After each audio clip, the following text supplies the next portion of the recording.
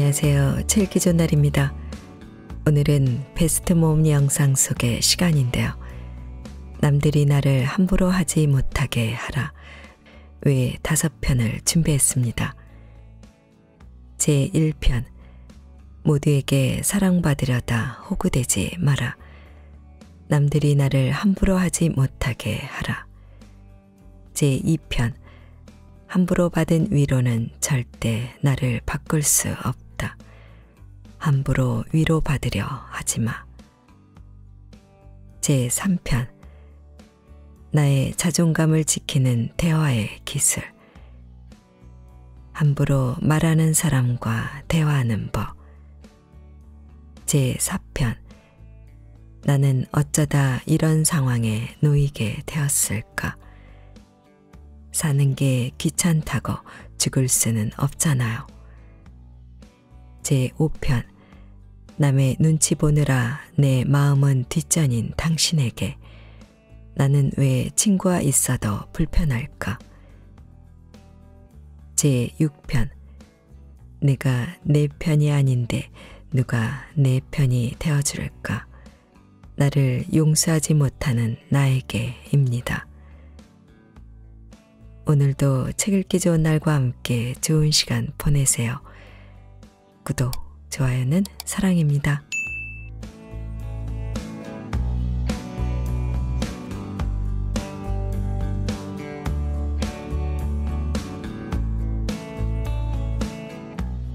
오늘 소개할 책은 당신의 친절이 당신을 함부로 대하게 한다. 남들이 나를 함부로 하지 못하게 하라. 지인이는 무행거, 옮기니는 체인에 발행은 세멘파커스입니다. 이 책은 지위나 직급, 신분, 나이 등을 이용해 상대방에게 무례하게 행동하거나 제멋대로 구는 사람들에게 과감히 대항하는 법을 알려주는 책입니다.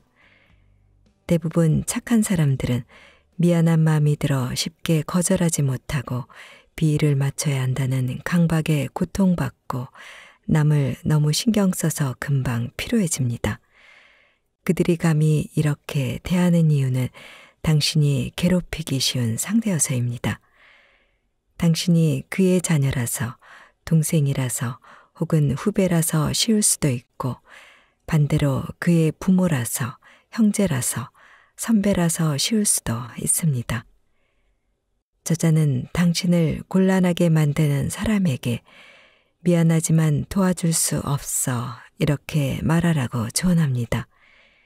엮이기 싫은 사람들의 감정을 신경 쓰지 않고 알고도 모른 채 하며 감당할 수 있는 범위에서만 선의를 베풀고 차라리 멀어지도록 내버려 두라는 것입니다. 생각이나 마음가짐을 조금만 달리하면 삶이 쾌적해지고 나를 대하는 사람들의 태도가 달라진다는 것입니다. 사랑을 핑계로 상처 주는 가족들, 한번 도와주면 계속이를 떠넘기는 동료들, 만만하다고 짜증 부리는 친구들, 호의가 권리인 줄 아는 사람들에게는 자신만의 원칙을 내세우고 초연한 태도로 일관하라. 친절이란 거절하고 맞서 싸울 수 있어야 한다고 말하며 착하기만 한 사람들이 함부로 대하기 어려운 사람으로 거듭나야 한다고 저자는 말하고 했습니다. 자, 그럼 지금부터 잠시 책 속으로 들어가 보겠습니다. 모두에게 사랑받으려다 호구되지 말 것. 사람들은 당신에게 도움을 청하는 것을 우정의 표식으로 여긴다. 친구니까 도와달라는 말도 할 수 있다는 것이다. 하지만 그렇지 않다. 당신의 착한 성격, 거절하지 못하는 성격을 이용하려는 것뿐이다. 믿지 못하겠지만 시험해보라. 도와달라고 할 때 거절하면 된다. 만약 당신이 거절하는 순간 그들의 얼굴에 드리워져 있던 미소가 사라지고 이런 사람인 줄 몰랐어 라는 말이 나온다면 100%다. 그 후로 당신을 곤란하게 하거나 괴롭힌다면 더 볼 것도. 선량함에 거절하지 못하는 태도가 더해지면 사는 게 고달파진다. 나쁜 사람들이 그 약점을 놓치지 않고 무자비하게 파고들 테니 말이다. 지나치게 나약하고 제 목소리를 내지 못하는 사람은 먹잇감이 될 수밖에 없다. 지나치게 착하다는 것은 호구라는 뜻이다. 내 친구 중에 직장 동료의 부탁을 거절하지 못해 고민하는 친구가 있었다. 나와 깊은 대화를 나눈 후 친구는 처음으로 동료의 부탁을 거절했다. 아주 조심스럽게 이렇게 말했다. 미안해요. 나도 일이 많아서 못 도와주겠어요. 그러자 그 동료가 억지 미소를 지으며 말했다. 에이, 별일도 아닌데 조금만 도와줘요. 잠깐만 시간 내면 금방 끝낼 일이잖아요. 미안한데 정말로 시간이 없어요. 겨우 이 정도 일도 못 도와준다니 너무하네요. 동료끼리. 그럼 왜 제 일은 안 도와주세요? 동료끼리? 친구가 이렇게 반박하자 동료는 우물쭈물하다가 결국 잔뜩 화가 난 얼굴로 가버렸다. 그날 이후 그 동료는 더는 이런저런 부탁으로 친구를 괴롭히지 않았다. 친구의 직장 생활 역시 훨씬 편하고 쾌적해졌다. 너무 착해서 누구에게든 잘한다는 뜻의 무고로행 같은 선량함은 버려야 한다. 내가 이 책을 통해 하고 싶은 말은 착한 사람이 얼마나 큰 고통을 겪는지가 아니다. 그보다는 이들이 거절할 용기를 내는 대신 자신의 상처를 끌어안는 길을 택하는 이유에 대해 이야기하려 한다. 원인을 알아야 악인들에게 대처할 수 있기 때문이다. 대체 무슨 이유로 이들은 맞서 싸우기보다 우울과 상처를 내버려 두는 길을 택할까? 왜 이들은 절망감에 묶여 스스로 행동할 가능성을 제한할까? 사실 절망한 후에 기존의 상황을 운명으로 받아들이는 것은 정상적일 뿐 아니라 자주 보이는 행동 반응이다. 인간은 유한한 인생을 살기 때문에 속도를 중시하는 쪽으로 발달했다. 비슷한 문제들을 해결하는 고정된 반응 모델을 대뇌에 설정해 둔다는 뜻이다. 영상을 훨씬 잘 기억하고 모든 것을 규칙화시키는 것도 다 같은 이유에서다. 문제가 생기면 처음에는 여러 가지 방법을 시도해 본다. 그러나 시간은 제한적이고 무의미한 일에 시간을 소모하는 것은 비효율적이므로 별다른 진전이 없으면 노력을 멈춘다. 일종의 손실 방지 임계점에 도달하는 셈이다. 즉, 더 노력해도 실패할 확률이 50% 이상이라는 판단이 내려지면 상황을 받아들인다. 물론 이렇게 되기까지 상황을 변화시킬 시도를 단 한 번만 해보는 것은 아니다. 제차, 3차, 그 이상으로 여러 번 시도했는데도 돌파구가 보이지 않으면 포기한다. 한 번 한계에 부딪혔을 때 이를 뛰어넘겠다고 또다시 애쓰는 사람은 많지 않다. 본능적인 생존 전략과 맞지 않기 때문이다. 문제는 스스로 설정한 이 한계가 평생 그림자처럼 따라다닌다는 점이다. 지금 당장 나를 힘들게 하는 상처의 근원에는 아주 오래된 상처가 있다. 이렇게 오래된 상처는 안타깝지만 치유할 방법이 없다. 오랫동안 받아온 고통의 대뇌 신경세포를 변화시키고 긴 세월에 걸쳐 굳어진 인간관계가 우리의 행동 방식을 이미 결정지어 버렸기 때문이다. 프로이트가 어린 시절의 트라우마를 강조한 까닭도 이 때문이다. 어린 시절 다리 한 짝을 잃은 사람이 평생 장애인으로 살 수밖에 없는 것과 같은 이치다. 언제까지든 몇 살이 되든 이런 상태는 변하지 않는다.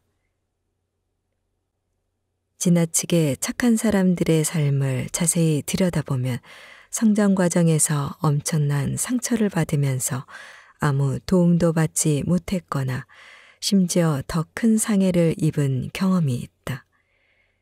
한 여자아이는 학교에서 괴롭힘 당했다고 부모에게 이야기했다가 흠씬 두들겨 맞았다. 가족들을 쪽팔리게 했다는 이유에서였다. 한 아이는 집안일을 하다 다쳤는데 아이 아버지는 게으름을 피우려고 일부러 다친 게 아니냐며 아이에게 벌을 주었다. 배우자가 외도했으며 이혼을 준비하고 있다는 사실을 불치병을 얻은 뒤에야 알게 된 사람도 있다. 이런 일들을 지속적으로 경험한 사람은 자신에게 상처 주는 것들에서 벗어날 의지와 가능성을 완전히 상실한다. 가해자는 대개 나이나 체격, 도덕적 명분 등 수많은 면에서 이들보다 우위를 점하고 있다. 그런 가해자에게 정신적, 신체적 위협과 모욕을 받으면 이들은 외부의 도움을 구할 수도 스스로 구할 수도 없는 지경에 놓인다. 심리적 붕괴의 가장 주된 원인은 자기 기대와 실제 행동이 심각하게 충돌하는 데 있다. 자기 자신을 포기하는 순간 자기 기대가 완전히 사라진다. 이런 상태에서는 타협과 자해, 자살 등이 손쉬운 해결 방법으로 보인다. 이들은 변화하거나 탈출할 기회가 코앞까지 와도 못 본 척한다. 현재 고통에 대항하거나 탈출하는 과정이 훨씬 더 고통스러울 게 분명하기 때문이다. 어차피 똑같이 고통을 겪어야 한다면 그나마 덜 격렬하고 익숙한 지금의 고통을 선택하겠다는 게 이들의 생각이다. 그렇게 절망에 빠진 사람이 갑자기 깨닫고 주도적으로 무언가를 시도하기를 바라는 것은 한여름밤의 꿈처럼 터무니없는 이야기다. 절망과 무력감이 삶의 곳곳에 침투하면 어떤 일에도 의미와 가치를 느끼지 못하며 더 이상 살아봤자 아무 소용없다는 허무감에 사로잡히기 쉽다. 신체적, 정신적으로 학대받는 사람은 대개 인격적 모욕도 함께 받기 마련이다. 가해자는 고의적으로 혹은 자신의 폭력을 정당화하기 위해 무의식적으로 피해자의 인격을 모욕하고 폄훼하며 부정한다. 지속적으로 인격적 손상을 입은 피해자는 결국 현재의 고통을 자초했다고 여기게 된다. 그 결과 타협과 굴복을 당연하게 받아들이며 심지어 자신을 쓸모없는 사람이라고 단정 짓는다. 일례로 남전여비 사상이 강한 집안에서 자란 여자는 타고난 성별부터 철저히 부정당하는 경험을 한다. 이런 상황에서 피해자가 느낄 수 있는 유일한 감정은 자신이 불행의 원흉이라는 죄책감 뿐이다. 10여 년간 온 가족에게 모욕받으며 자란 한 여성은 성인이 된 후에도 집에 무슨 일이 생기면 전부 자기 잘못이라는 생각에 시달린다. 그러나 그녀와 달리 어려서부터 부모의 사랑을 듬뿍 받고 자란 자매들은 자기 잘못으로 생긴 일도 남의 탓으로 돌린다. 차별이 만들어낸 차이가 이토록 크다. 자신과 환경에 대한 통제력을 완전히 잃은 사람은 심각한 심리적 병에 시달린다. 이들은 소심하고 나약하며 폐쇄적이다. 또한 세상의 온갖 불공정함, 괴롭힘에 직면했을 때 그런 상황에서 스스로 빠져나오지 못한다. 자신의 운명을 스스로 이끌어갈 수 없는 처지에 있다 보니 우울감도 매우 높다. 가정 환경이 중요하다는 말도 어린 시절의 트라우마가 평생을 좌우한다는 이론도 모두 맞는 말이다. 아무 노력도 하지 않으면서 상황이 바뀌기를 바라는 사람, 자신을 지나치게 희생하는 사람은 모두가 하나같이 절망한 게으름뱅이다. 이들 피해자는 심리적 그림자에서 벗어날 수 있을까? 이론적으로는 가능하다. 이론적이라고 조건을 단 이유는 대개 경우 피해자가 다음의 조건들을 모두 갖추기 어렵기 때문이다. 가해자와 철저히 분리되어 가해자가 다시는 접근하지 못하도록 한 뒤 안전한 환경에서 새로운 문제 해결 방법을 배우면 된다. 이렇게 하면 피해자가 삶의 의지를 회복할 가능성이 높아진다. 여기서 핵심은 가해자와 철저히 분리된 후 적절한 도움을 제공받는 것이다. 피해자가 더는 상처받지 않게 하는 것만으로는 부족하다. 그러나 피해자 모두가 가해자와 분리될 수 있는 것은 아니다. 조건적으로 그럴 수 없는 경우가 훨씬 많다. 만약 지금 당장 안전한 환경으로 옮겨가거나 그런 상태를 만들 수 없는 상황이라면 어떻게 해야 할까? 가장 좋은 방법은 책을 많이 읽고 돈을 많이 버는 것이다. 사실 이런 제안은 장기간 절망에 빠져 나약할 대로 나약해진 사람에게는 아무 소용없다. 가장 극렬한 방식으로 저항하지 않는 이상 가해자가 피해자의 노력과 의지를 철저히 막을 것이기 때문이다. 이 책을 쓴 이유가 바로 여기에 있다. 아무 도움도 받지 못하고 늘 혼자라고 느끼는 사람에게 홀로 싸우다 지쳐버린 피해자에게 아직 희망이 있다고 말하고 싶다. 원칙이 없는 착함, 거절할 줄 모르는 선량함은 독이다. 당신을 괴롭히는 사람은 결코 좋은 사람이 아니며 진정한 친구는 더더욱 아니다. 이 점을 반드시 기억해야 한다. 이 책을 읽는 독자 모두가 합리적으로 거절하고 적절히 대항하는 힘을 얻을 수 있기를 간절히 바란다.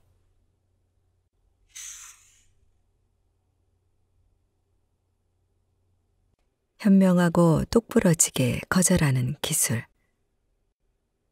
한 젊은 여성이 말했다. 예전에는 거절하는 것 자체를 이기적인 행동이라고 생각했어요. 그래서 부탁을 받으면 바로 알았다고 했어요. 막 직장에 다니기 시작했을 때가 제일 심했어요.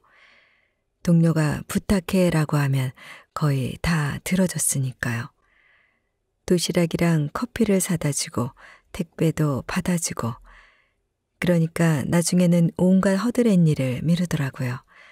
심지어 동료 부탁 들어주느라 내 할 일을 못해서 상사한테 혼나기도 했지요. 그녀는 억울하다는 표정을 지으며 계속해서 말했다.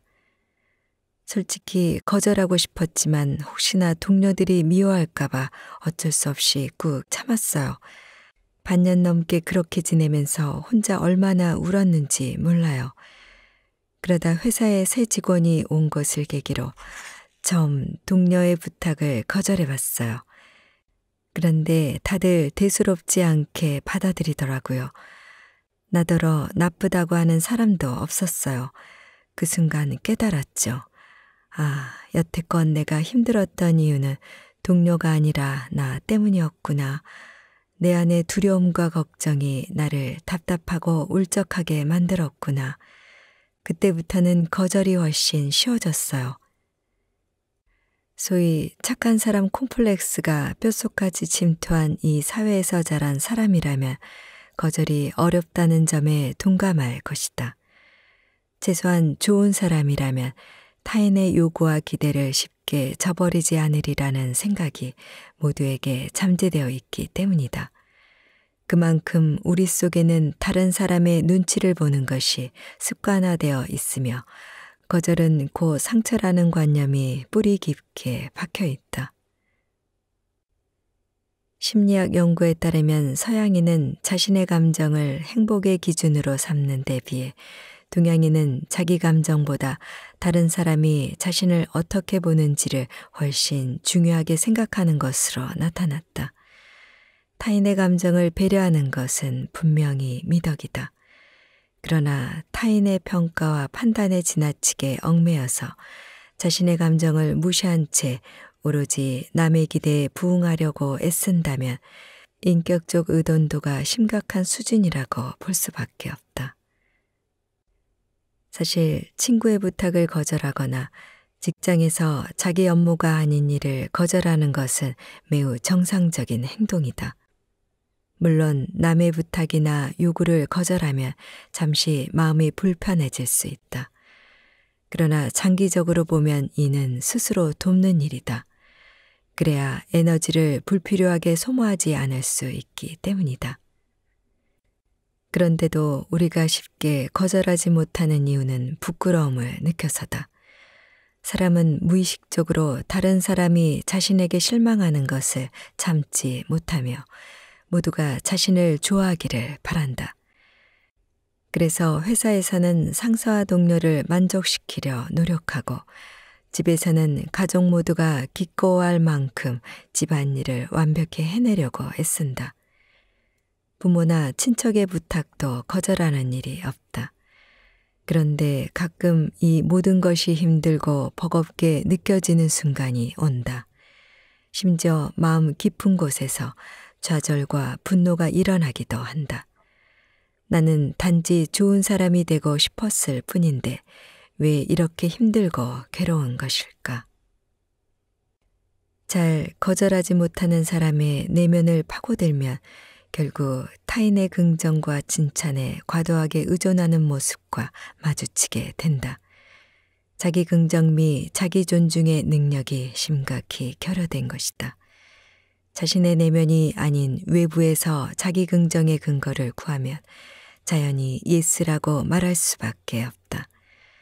타인에게 인정을 받아야 자기 가치감이 확인되기 때문이다. 이런 경향이 심해지면 타인의 요구를 들어준 대가로 얻는 일시적인 가치감과 안정감에 중독되는 일종의 중독적 피약 관계에 빠지기 쉽다. 건강한 인격과 인간관계를 가지려면 반드시 내면의 의존성과 독립성이 균형을 이뤄야 한다. 여기서 독립성은 자아에 대한 이해와 수용, 존중, 긍정에서 나온다. 아기가 걸음마를 배울 때를 생각해 보자. 혼자 걷기 위한 첫 발을 떼려면 용기가 필요하다. 그리고 그 용기는 비틀거리고 넘어지는 고통을 겪은 후에야 생긴다. 앞서 언급한 그 여성은 어쩔 수 없는 상황까지 몰리고 나서야 비로소 조금은 이기적으로 자신을 긍정하고 남을 거절하는 법을 배웠다. 앞선 이야기에서 그녀가 놀란 점은 용기를 내어 거절했을 때 생각보다 기분이 훨씬 좋았다는 점이다. 그리고 태어나 처음으로 자기 감정을 존중하는데 그 어떤 이유도 필요치 않다는 사실을 깨달았다.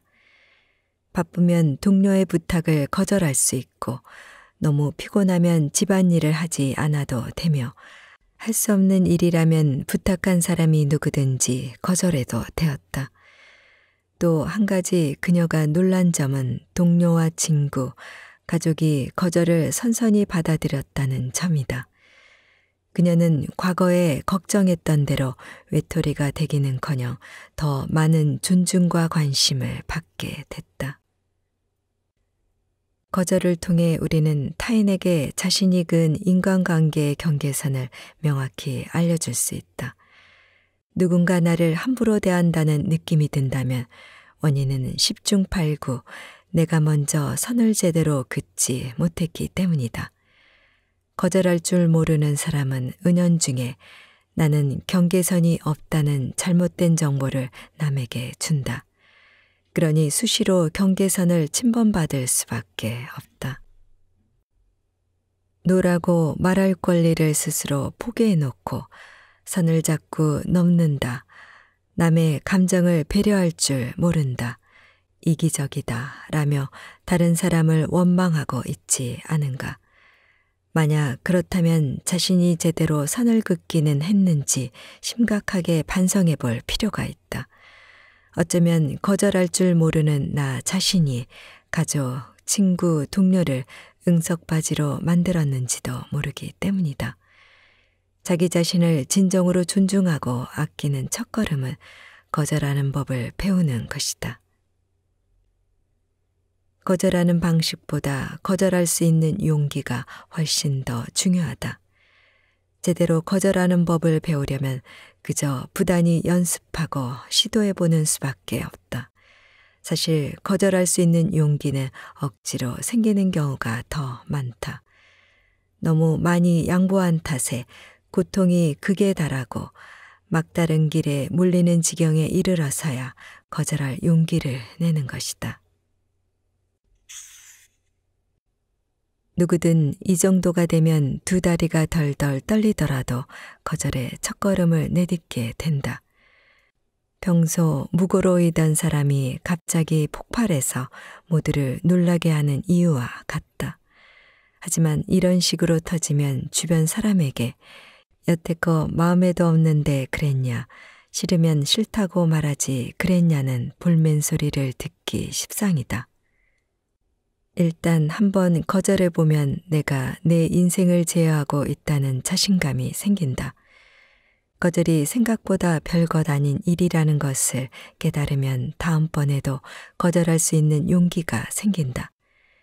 또한 생각만큼 남의 시선이나 평가에 의존하지 않아도 되고 인생의 우선순위를 결정할 권한 또한 나 자신에게 있다는 사실을 알게 된다. 이런 권한은 타인에게서 쟁취할 필요가 없으며 합리성을 증명할 필요는 더더욱 없다. 왜냐하면 이는 하늘로부터 부여받은 당연한 권리이기 때문이다. 단 거절이 남을 도와주기 싫어서 되는 핑계나 마땅한 책임을 회피하는 수단이 되어선 안 된다. 적절한 거절을 통해 우리는 오히려 나 자신과 타인에게 가장 성실해질 수 있다. 무슨 일에든 yes라고 한다면 이는 곧 스스로 구세주가 되려는 것이다. 하지만 인간은 절대 구세주가 될 수 없다. 무소불능하지도 않다. 이 사실을 모르는 사람은 없을 것이다. 따라서 자신이 할 수 있는 일과 할 수 없는 일을 인정하고 자기 자신의 한계를 깨달아 적절히 지혜롭게 거절할 줄 알아야 한다. 자기 마음에 충실해서 용감히 노라고 말할 수 있어야 자기 행동에 제대로 책임질 수 있다. 어떻게 하면 당당하고 적절하게 거절할 수 있을까? 현명한 거절을 위한 스무 가지 방법이다. 1. 너무 많은 일로 정신없이 바쁠 때. 시간이 없다고 솔직히 밝힌다. 이미 할 일이 있어서 도와줄 수 없다고 하면 당신을 탓할 사람이 없다. 2. 부탁받은 일을 하는 것이 매우 불편할 때. 어떤 일을 하는 것이 불쾌하게 느껴진다면 이는 함께 일하는 사람 혹은 환경 때문일 수 있다. 그 일은 하기 싫다고 직접적으로 밝히는 것이 난처한 상황에서 벗어나는 가장 좋은 방법이다. 3. 당장 새로운 임무를 맡을 준비가 되어 있지 않을 때. 돕고 싶은 사람이 아예 없는 것은 아니지만 당장 일정이 너무 빡빡해서 도와줄 여유가 없다고 말한다. 자신의 한계를 알고 인정하는 것 역시 능력이다.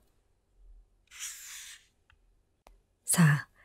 자신이 적합한 인물이 아닐 때 자신의 기술이나 능력이 부족하다고 해서 좌절할 필요는 없다. 가장 좋은 방법은 자신의 부족함을 솔직히 인정하는 것이다. 자기 능력 밖의 일을 떠맡아 결국 망치는 것보다 처음부터 부족함을 인정하는 편이 훨씬 낫다. 5. 부탁받은 일을 하는 게 즐겁지 않을 때.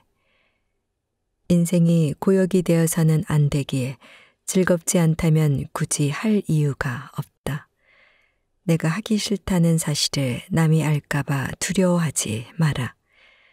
내가 싫어하는 일을 누군가는 좋아할 수도 있다. 6. 일정이 전부 차 있을 때 일정이 꽉 찼다고 솔직히 말한다. 숨 쉴 틈도 없이 바빠야만 일정이 전부 찼다고 말할 수 있는 것은 아니다. 일정은 자신이 감당할 수 있는 정도에 맞춰 정한다. 7. 여러 가지 일을 맡아서 정신이 분산될까 걱정되는 경우 상대를 더 잘 도와주고 싶다는 마음을 표현한다. 그러나 자신은 주의력이 분산되면 어떤 일도 제대로 할 수 없으며 한 번에 한 가지 일에 집중하는 편이 훨씬 효율적이라는 사실을 상대에게 주지시킨다. 8. 다른 일을 하기로 이미 정해진 상황일 경우. 다른 일이란 반드시 업무나 공식적인 일이 아니라 친구나 가족과의 약속일 수도 있고 혹은 혼자만의 시간을 보내기로 정한 것일 수도 있다. 자기 선택의 정당성과 합리성을 증명할 필요는 없다. 당신의 시간은 결국 당신의 것이니까. 9. 해당 분야에 아무런 경험이 없을 경우 도와줘야 한다는 이유로 자신이 알지도 못하는 새로운 기술을 반드시 배울 필요는 없다. 상대에게 경험 있는 사람을 찾아보라고 조언하고 향후 자신이 잘 아는 분야에서 도움을 청한다면 그때 도와주겠다고 밝힌다. 10.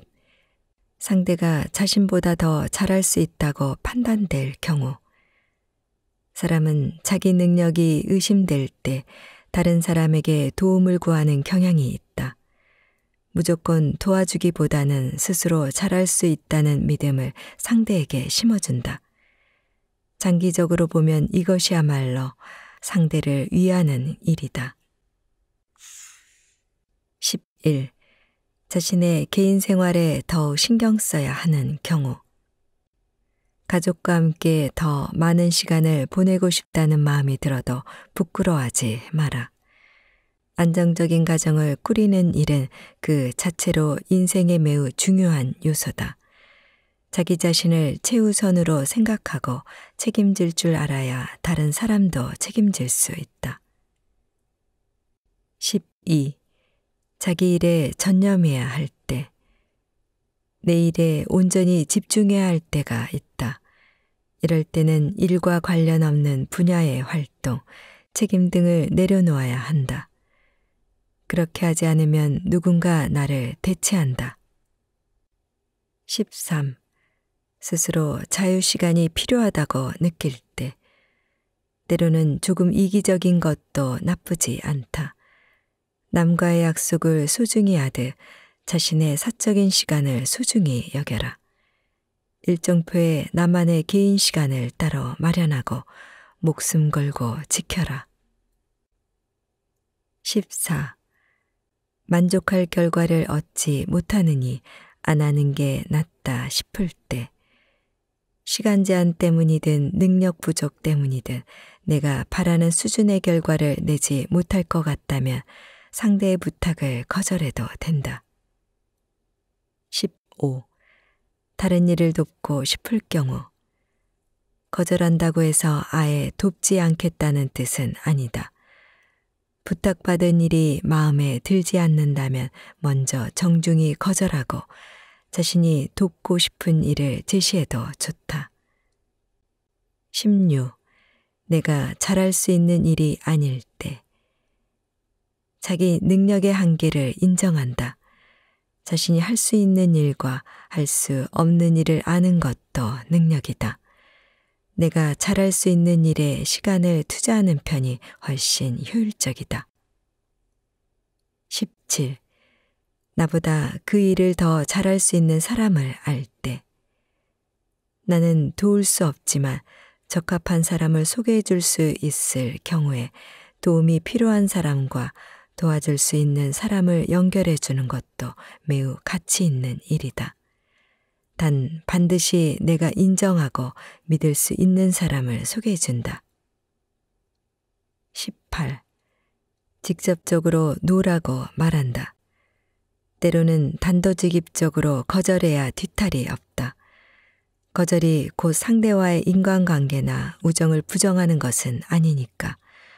단 반드시 예의를 갖춰 정중히 거절한다. 19. 당장은 힘들지만 나중에 도와줄 수 있을 때. 정말 돕고 싶지만 시간이 없다고 솔직히 말한다. 상대도 기다릴 수 없다면 알아서 다른 사람을 찾을 것이다. 시간이 흐른 후 도움을 준다. 20. 갑자기 급하게 처리할 일이 생겼을 때 예상치 못한 일이 생겨서 일정의 차질이 빚어질 수도 있다. 일부를 조정해야 한다는 사실을 인정한다. 대개는 일시적이기 때문에 상황이 정리되고 나서 도와주겠다고 밝힌다.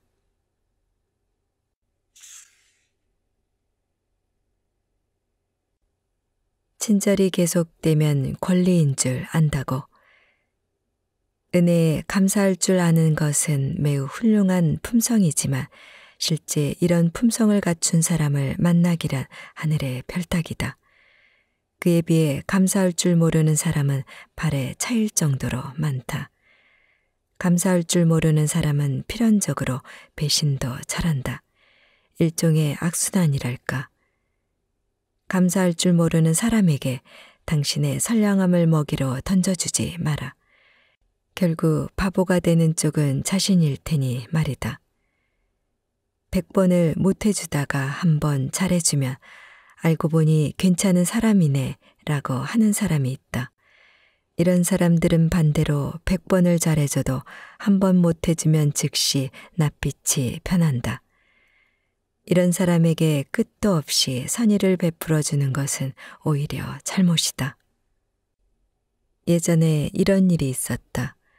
어느 만두가게 주인이 제때 따뜻한 식사를 하지 못하는 환경미화원과 불황자들에게 사랑의 만두를 공짜로 나눠줬다. 얼마간 선행을 계속하다가 주인이 더 이상 만두를 공짜로 주지 못하겠다고 하자 그간 만두를 얻어먹던 사람들이 거칠게 항의하고 나섰다. 대놓고 욕하는 사람도 심지어 만두 말고 돈으로 달라며 뻔뻔하게 요구하는 사람도 있었다. 모두가 이른바 착하고 순진한 어려운 서민들이 벌인 일이었다. 본래대로라면 마땅히 만두가게 주인에게 감사해야 할 사람들이 감사는커녕 이토록 악한 짓을 벌인 이유는 무엇일까? 이러한 현상을 설명할 수 있는 개념이 바로 경제학의 한계 효용이다. 당장 굶어 죽을 것 같을 때는 누군가 만두 한 개만 줘도 감지덕지한다. 심지어 그를 위해 충성까지 맹세할 수 있다. 그런데 실컷 먹고 배가 부른 후에 누군가 또 만두를 준다고 해보자.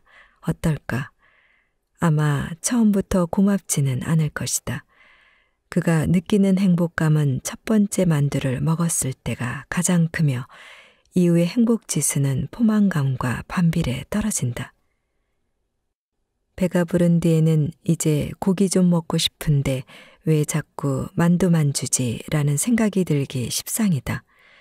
그러다 손에 십여 개의 만두가 쥐어지면 고마움은 거의 사라지고 스멀스멀 이런 생각이 든다. 이 사람들은 자선을 베푸는 줄 알지만 사실 쇼를 하려는 게 아닐까. 왜 만두만 주냐고. 내가 필요한 게 만두뿐이 아닌데 말이야. 옷도 필요하고, 돈도 필요하고, 집도 필요하고. 물론 맨 처음 도움을 받았을 때는 대부분이 진심으로 고맙다고 느꼈으리라. 그러나 두 번째, 세 번째, 백 번째로 도움을 받은 후에는 어떨까? 아마 자신이 마땅히 누릴 당연한 권리로 여긴 게 아닐까. 그렇지 않고서야 도움이 끊어졌을 때 그처럼 분노하고 화를 낼 이유가 없다.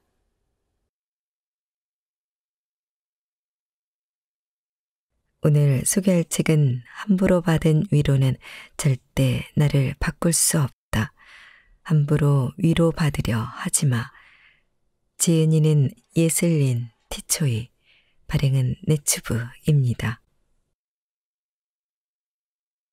우리는 살면서 상처를 받거나 슬픈 일이 생기거나 마음이 아프고 힘들 때 따뜻한 한마디 말이 큰 위로가 됩니다. 위로를 받는 사람은 마음의 위안을 얻어서 편안해지고 위로를 한 사람은 좋은 일을 한 것 같아 기쁩니다. 그러나 저자는 힘든 상황을 겪은 사람이 위로만 받는다고 삶이 바뀌지는 않는다. 위로는 힘든 상황을 견디게 하는 영양제 기능은 할 수 있지만 힘든 상황을 다시 겪지 않도록 삶을 본질적으로 바꿔주는 수단은 아니기 때문이다 라고 말합니다. 이 책은 우리의 일상 곳곳에서 수다처럼 오가는 텅 빈 위로들의 일침을 가하며 남이 건네는 위로를 온전히 진심이라 착각하고 위로에 기대는 사람들의 허를 찌르는 쓴소리를 풀어내고 있습니다. 저자는 듣기 좋은 이야기, 듣기 좋은 위로가 우리의 삶에 미치는 영향은 결코 긍정적이지 않으며 삶의 곳곳에서 무분별하게 난무하는 위로들을 과감히 밀쳐내라고 조언합니다. 위로받는 것은 좋으나 함부로 위로받으며 스스로의 삶을 바꾸길 지체하지 마라. 저자의 메시지는 이처럼 분명합니다.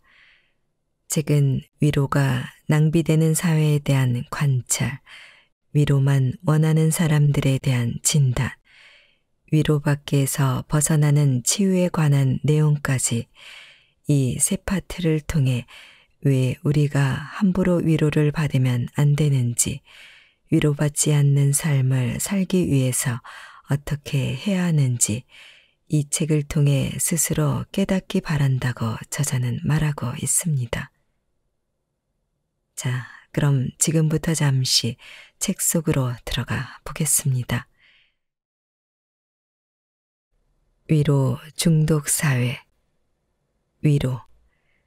따뜻한 말이나 행동으로 괴로움을 덜어주거나 슬픔을 달래줌. 친구가 얘기한다. 요즘 일이 안 풀려 힘들다. 직장에서 일이 안 풀리고 집에서는 부부 사이 관계와 아이들 때문에 힘들고 대략 이런 얘기들을 나에게 늘어놓았다.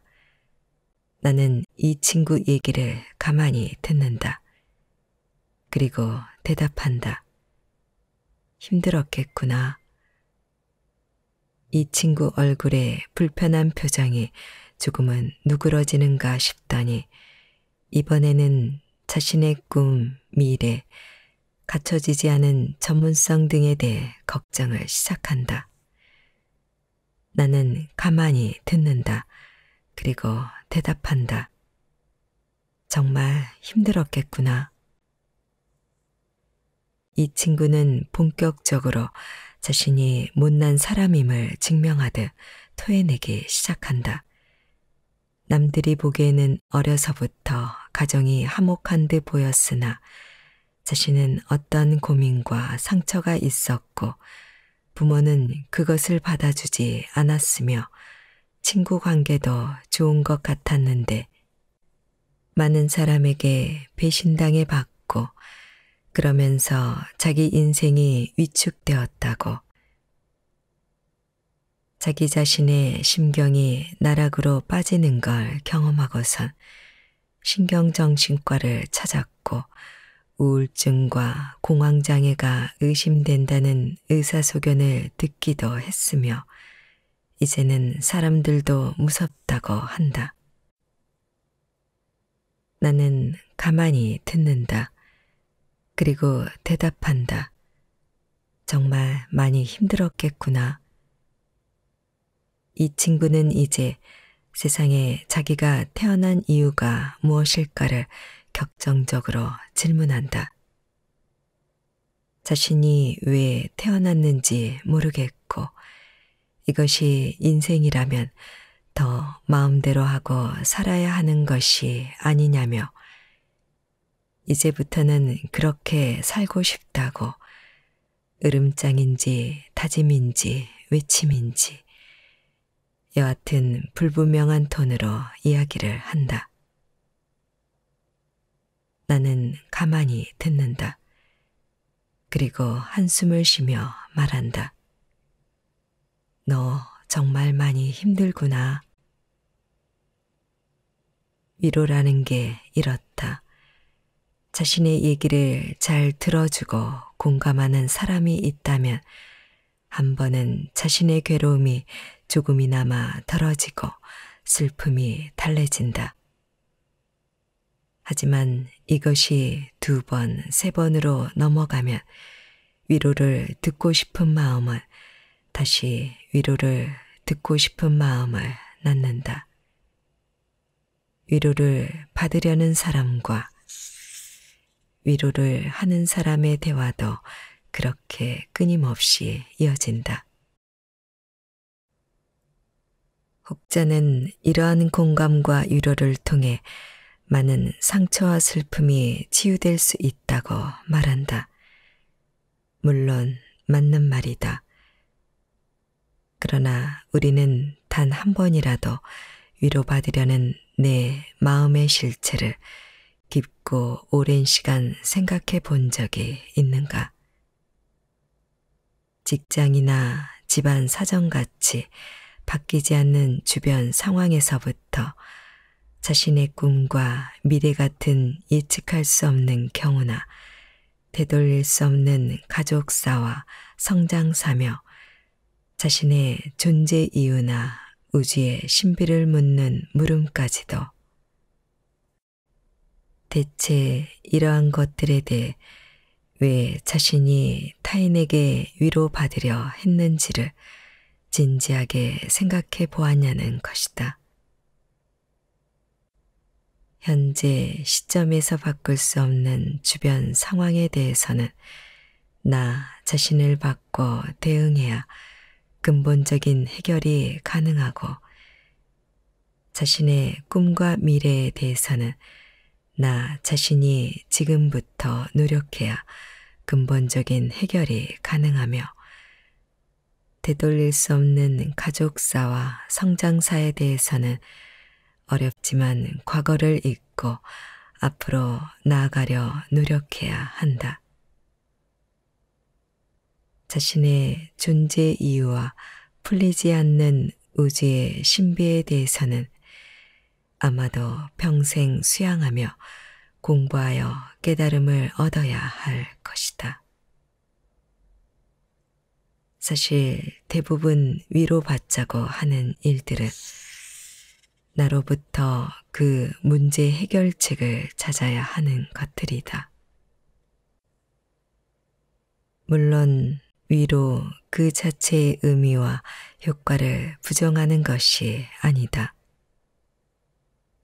하지만 많은 사람이 스스로 위로받고자 하는 일을 만들고 싶지 않거나 자신이 위로받을 만큼 없어 보이는 사람이 되는 것은 원하지 않으면서도 근본적인 자신의 문제에 대해 해결하려는 그런 노력을 하지 않은 채 위로받으려 하고 혹은 위로하는 것에만 몰두하는 데 쓰는 에너지가 참 아까운 생각이 드는 것이다.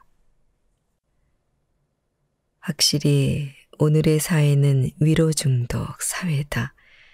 힘든 일, 우울한 일, 슬픈 일에 위로해 주는 것이 최고의 미덕이다. 위로받으려는 사람이 더 인간적으로 보이고 위로하는 사람이 더 인격적으로 성숙해 보인다. 하지만 그들 모두 누군가를 위로하거나 위로받지 않는 행복한 사회를 꿈꾼다. 위로란 것은 좋은 것이다. 하지만 위로받을 일을 만들지 않으려는 노력도 필요하다. 위로받을 일이 많아지면 더 우울해지고 스스로 낮은 사람으로 느껴지고 그러면서 자신을 파괴할 수도 있다는 것을 이제 우리는 알아채야 할 것이다. 이제 정말 위로 중독에서 벗어나는 방법을 찾아봐야 한다.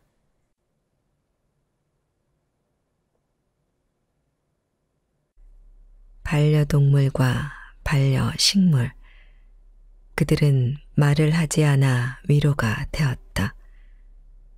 반려, 짝이 되는 동무. 반려동물이나 반려식물을 키우면 흔히 있는 일. 개인적으로 힘든 일이 있는 날이면 키우는 강아지에게 푸념하거나 창가옆 선인장의 말을 걸며 어항의 구피에게 의견을 묻는다. 한참의 시간 동안 말을 하지만 강아지는 낑낑대며 내 손을 핥아대고 선인장은 그대로 서 있기만 하고 구피는 입만 뻐끔대며 물 표면으로 올라온다. 그들 누구도 나의 말에 호응해 준것 같지 않았다.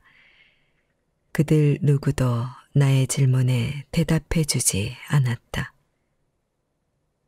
하지만 희한하게도 나에게 일어난 힘든 일들이 조금씩 잊히지 시작했다. 그들에게 나의 힘든 점을 말하는 것만으로 상처가 치유되는 느낌이었다. 반려동물이나 반려식물이 나의 힘든 일에 대해 공감해 주는 것 같지 않아도 내가 그 힘든 일을 이겨낼 수 있는 그 원리는 간단하다. 나의 힘든 점을 스스로 자세히 설명하고 체계적으로 정리하고 나면 그 힘든 점에 대해 상당히 다각적인 시각을 갖게 되는 원리다. 당시에 내가 왜 힘들었는지, 힘들 때 느낀 감정은 무엇이었는지, 이 상황을 이겨내려면 무엇을 해야 하는지, 이런 생각들이 정리되고 나면 힘든 일에 대한 해결책이 조금씩 보이기 시작하고 앞으로 나갈 용기를 얻게 된다. 그래서 누군가에게 위로받는 과정에서도 가장 중요한 과정은 정자 위로의 말이나 조언을 듣는 과정이 아니다. 나의 상황을 자세히 말하고 스스로 되묻는 과정이다. 자신의 생각을 글로써 표현하여 마음의 상처를 치유하는 것도 같은 원리다. 그래서 일기를 쓰면 정신적으로 건강해진다는 말들도 나온다. 결국 나에게 힘든 일이 일어났을 때 내가 가장 먼저 해야 할 일은 힘든 일에 대한 실체를 찾아내는 것이다. 그 다음에는 그 실체의 본질에 최대한 가까이 접근해 봐야 하고 마지막에는 극복하려 노력해야 한다. 이 과정에서 남이 해주는 위로는 그게 영향을 미치지 않는다. 남의 위로로 어느 정도 마음의 위안을 얻을 수는 있어도 결국 힘든 일을 발견하고 파악하며 극복하는 일은 스스로 해야 할 일이다. 위로의 말 한마디로 되는 일이 아니란 말이다. 키우던 강아지, 창가옆 선인장, 어항 속의 구피, 그들은 위로의 말 한마디 없이 힘든 일에서 나를 건져줄 수 있는 존재들이다. 그들은 나 스스로 생각을 정리할 수 있도록 기다려 주기 때문이다. 말 한마디 없이 말이다. 나의 마음, 너의 마음, 그러니 위로해줘. 我 정지하라는 뜻으로 소, 말 등의 가축을 다룰 때 사용하는 말임. 위로받기를 원하는 사람은 그 말투가 차분하든 조용하든 간에 내적으로는 흥분 상태다. 위로받기를 원하는 사람이 상대가 자신을 위로해 줄 만한 사람인지 아닌지 이를 구별할 때 쓰는 말만 봐도 안다. 이게 말이 돼? 내가 이상한 거야? 그 사람 정말 이상하지. 이런 말들은 얼핏 보면 상대의 의견을 묻는 것 같지만 대답이 이미 정해져 있는 말이다. 상대의 동조만을 원하는 말인 것이다. 누군가에게 위로받는데 익숙한 사람은 매우 이성적인 사람처럼 보이고 싶어 하지만 실제로는 자신에게 동조하지 않는 사람을 가까이 두려고 하지 않는다.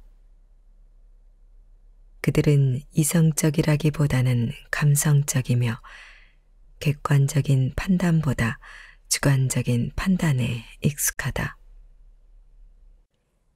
위로의 메커니즘은 공감에서부터 시작하므로 위로해주는 사람은 위로를 받는 사람을 마음으로 이해해야만 한다.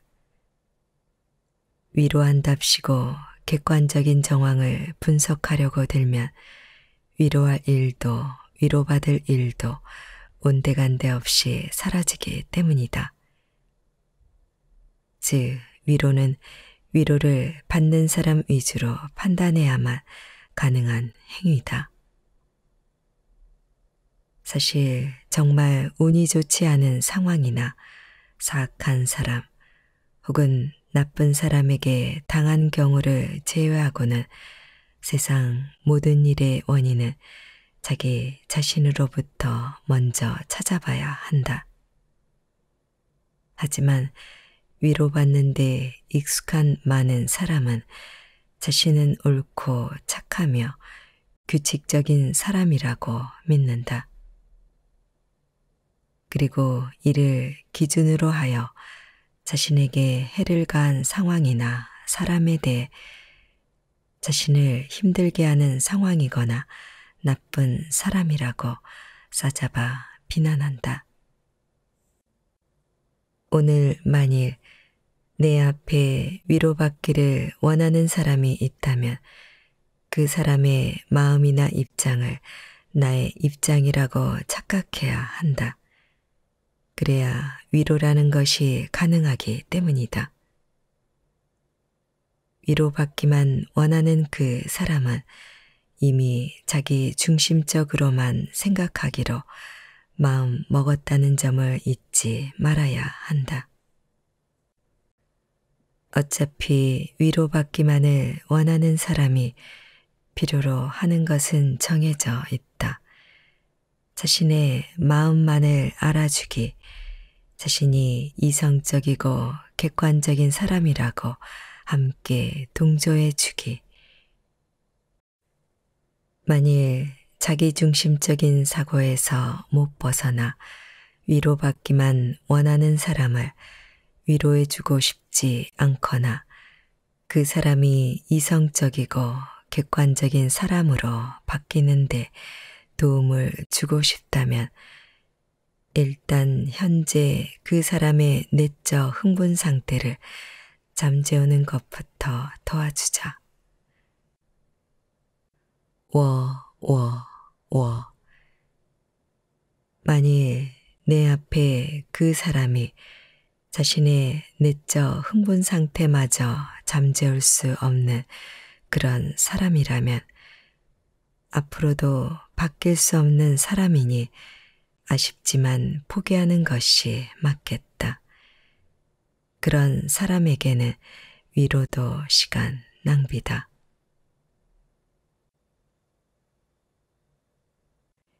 위로 안 받고 살고 싶어요. 가장 원하는 걸 이뤄 보세요. 성취, 목적한 바를 이룸. 대개 강의, 책, 블로그, 유튜브들에서는 위로받지 않고 당당히 살아가려면 어떻게 해야 하나요? 라는 질문에 대해 다음과 같은 골자의 답들이 많다. 자신을 사랑하세요. 내려 놓으세요. 현실을 인정하세요. 긍정적인 미래를 생각하세요.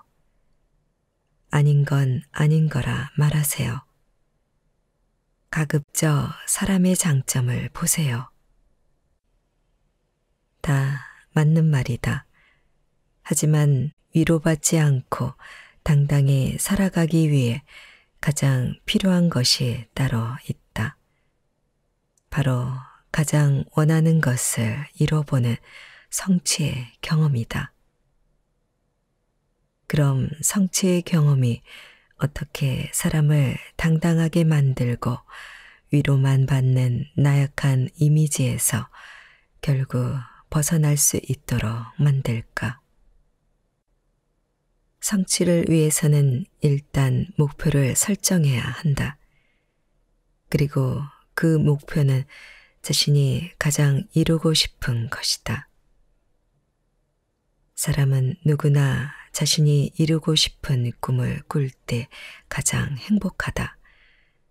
그래서 인생에서 목표를 설정한 사람은 얼굴빛이 달라진다. 또한 자신의 꿈을 목표로 설정한 사람이 하루하루 그 꿈을 위한 작은 성취들을 이루고 비로소 꿈을 이루고 나면 세상이 굴러가는 원리를 터득하게 된다. 이렇게 꿈을 설정하며 행복해하고 하루하루 힘들었지만 그 작은 성취들을 하나하나 모아 마침내 자신이 바랐던 꿈을 이루어 세상이 굴러가는 원리를 터득한 사람은 이제 전혀 새로운 사람이 된다. 자신이 원하는 것을 이뤄본 사람만이 가질 수 있는 여유와 안목이 생기고 원하는 것을 이루며 발생하는 힘겨운 일들은 성취의 과정에 불과한 것을 깨닫는다. 자신의 꿈을 이뤄낸 많은 사람의 인내와 열정이 참 대단한 것이라는 점도 몸소 체험한다. 그리고 가장 중요한 것, 자신이 오랜 시간 품어온 꿈을 이룬다고 해서 세상이 바뀌지 않는다는 큰 가르침을 얻는다. 가장 원하는 걸 이뤄본 사람은 이제 힘겹고 어려운 일에 쉽게 징징대지 않는다. 이제 사람에게 쉽게 상처받지 않고 불필요한 감정 소모를 하지 않는다. 이제 작은 실패가 일어나도 꿈을 이루는 과정의 시행착오 정도로 여긴다. 이제 나의 힘겨운 상황을 바꾸는 것은 나 스스로에서 시작해야 한다는 걸 알게 된다. 그리고 마침내 그 누구도 나의 힘든 상황을 명확히 이해하고 위로할 수 없다는 것을 깨닫는다. 잘 생각해 보면 자신이 가장 원하는 걸 이뤄본 사람은 우리 주위에 그렇게 많지 않다. 일반적으로 사람들은 자신의 꿈에 대해 친구와 밥 먹으며 혹은 커피나 술 마시며 말할 줄이나 알지. 꿈을 성취하기 위해 촘촘히 계획을 세우고 하루하루 꾸준히 달려나가는 사람은 어떤 사람들 무리에도 그렇게 비율이 높지 않다. 대개는 고만고만한 사람들이 보이지도 않고 잡히지도 않으며 해 보지도 않은 허무맹랑한 꿈 얘기들을 한다. 노력을 해보지도 않고 작은 성취들을 모으지도 못한 채 그렇게 서로를 위로하고 또 위로받으며 살고 있다. 물론 그렇게 허무맹랑하고 이루어지지도 않을 꿈 얘기나 하면서 살아도 된다. 그런 삶이 무의미하다는 말을 하는 게 아니다. 그렇게 서로 위로하며 사는 삶이 너무너무 좋으면 그렇게 해도 된다. 때로는 위로라는 것이 삶을 견디게 하거나 즐겁게 만들어주기도 하니까. 하지만 이제까지의 삶과 다른 삶을 살아보고 싶다면 더 이상은 위로받아야 하는 나약한 이미지로 살고 싶지 않다면 답은 정해져 있다. 목표를 설정하고 작은 성취들을 달성하고 비로소 자신의 꿈을 이뤄내면 된다. 그래서 위로받으며 나약하게 살고 싶지 않다는 사람에게 건네야 하는 한마디는 정해져 있다. 이제 정말 내가 진짜 원하는 걸 찾고 열심히 해서 꼭 꿈을 이뤄봐.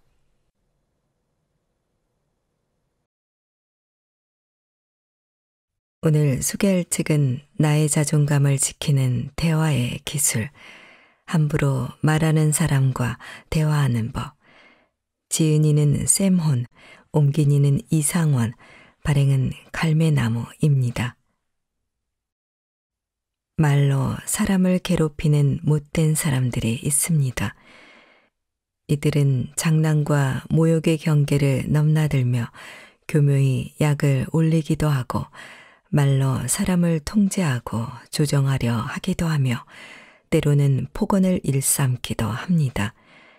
가족, 연인, 학교, 친구, 직장, 상사 등 우리의 옆에는 함부로 말하는 못된 사람이 어디에나 있습니다. 이 책은 이렇게 의도적으로 상처를 주고 괴롭히는 사람들, 즉, 괴물을 상대하면서 나의 자존감을 지키는 대화의 기술을 제안합니다. 저자 세모는 커뮤니케이션 전문가이자 베스트셀러 작가인데요. 자신이 겪은 진솔한 경험과 꼼꼼히 수집한 다양한 사례들을 통해 우리 주변의 못된 사람을 구별하는 법, 그리고 그러한 못된 사람에 맞설 수 있는 유용한 대화법을 제시합니다. 언어의 사무라이 되기, 공격을 유머로 받아치기, 악의적인 농담에 격조 있게 대처하기 등 효과적인 대화의 기술을 구체적인 실천 계획과 함께 제시해 누구나 실생활에서 쉽게 적용하고 실천할 수 있습니다. 함부로 말하는 사람을 상대하다 보면 인간에 대한 신뢰를 잃고 나 자신 또한 상대와 다를 바 없는 무례한 사람이 될까 불안해지기도 합니다. 하지만 무례한 사람을 상대하면서도 나 자신의 품위를 지키며 좋은 사람으로 살아갈 수 있는 길은 분명 있습니다. 즉, 괴물과 싸우면서 괴물이 되지 않는 방법입니다. 저자는 이처럼 무례한 사람에 맞서 내 삶의 통제권을 되찾는 실질적인 방법과 함께 좀 더 나은 사람으로 살아갈 수 있는 삶의 지혜를 알려주고 있습니다. 자, 그럼 지금부터 잠시 책 속으로 들어가 보겠습니다. 언어의 사무라이 대기 누군가 당신의 마음 한가운데 파괴적으로 길을 닫고 있다면 상대의 방식을 바꿔야 할 시점이다. 이를 위해서는 언어의 사무라이가 되는 법을 익혀야 한다. 사무라이는 봉건시대 일본에서 활동하던 무사를 말한다. 주군을 모시는 전사들은 싸움을 자청하지는 않았지만 도전을 받으면 우월한 실력을 유감없이 발휘하곤 했다. 그리하여 이들에게 이길 가능성이 거의 없다는 것을 알게 된 사람들은 함부로 덤벼들지 않았다. 주군이 죽고 나면 이들은 낭인이 되어 수행을 떠났다. 상전을 모시는 삶에 익숙해 있던 터라 독립적인 생활에 어려움을 느끼기도 했다. 그러나 시간이 흐르면서 이들은 스스로의 주군이 되는 법을 익혔고 낭인 사무라이로 거듭났다. 당신은 어떤가? 어느 틈엔가 당신보다 더 논쟁적이고 공격적인 사람에게 맞춰주는데 익숙해진 것은 아닌가? 다시 한번 강조하지만 우리의 목표는 남의 지배를 벗어나 독립성을 되찾는 것이다. 언어의 사무라이는 남들이 가하는 부당한 압력이나 심리적, 육체적 위험을 막아내기 위해 해야 할 일을 한다. 내 친구의 큰딸은 바로 그런 일을 해냈다. 이혼 후 혼자 두 딸을 키운 내 친구는 큰딸의 조지타운 대학교 졸업식과 둘째 딸의 하와이 고등학교 졸업식이 겹치는 바람에 어쩔 수 없이 하나를 포기해야 했다. 고민 끝에 친구는 하와이행을 택했다. 그런데 큰딸의 졸업식에 아무 예고도 없이 아버지가 모습을 나타냈다. 유난히 비판적인 성격의 그 아버지는 딸의 학위 수여식이 끝나자마자 다가가 독서를 던졌다. 4년이라는 시간을 낭비했구나. 대체 정치학 학위를 받아서 뭘 한다는 거냐? 절대로 직장을 찾지는 못할 테니 수천 달러나 되는 돈을 공중에 날려버린 셈이야. 기세 좋게 떠들던 아버지는 큰딸이 손을 들자 놀라 입을 다물었다. 딸은 아버지를 가만히 쳐다보더니 천천히 하지만 힘을 주어 말했다. 아빠, 그만하세요. 제가 어머니로 보이시나요? 아버지는 딸의 단호한 태도에 흠씬 놀랐다. 딸이 계속해서 말을 이었다. 전 이 대학을 졸업한 것이 자랑스러워요. 그리고 정치학 학위를 받아서 기쁘고요. 저를 축하로 오셨다면 환영이에요. 하지만 그렇지 않다면 떠나주세요. 브라보, 이것이 바로 언어의 사무라이다. 그 딸은 주도권을 잡았고 부당한 공격을 중단시키기 위해 필요한 말과 행동을 했다. 자제력을 잃고 소리를 지르지도 독설에 상처받아 눈물을 흘리지도 않았다. 어째서 제게 이런 말을 하시는 거예요? 라고 울먹이지도 말없이 참아낸 후 집으로 돌아가 처지를 비관하지도 않았다. 대신 아버지의 말과 행동이 부적절하며 용인될 수 없다는 점을 분명히 알렸다. 침묵하며 고통받기보다는 생각을 말로 표현했고 아버지에게 그에 따른 책임을 지웠다. 또한 그 아버지가 체면을 구기지 않고 그 자리를 빠져나갈 수 있는 기회도 주었다.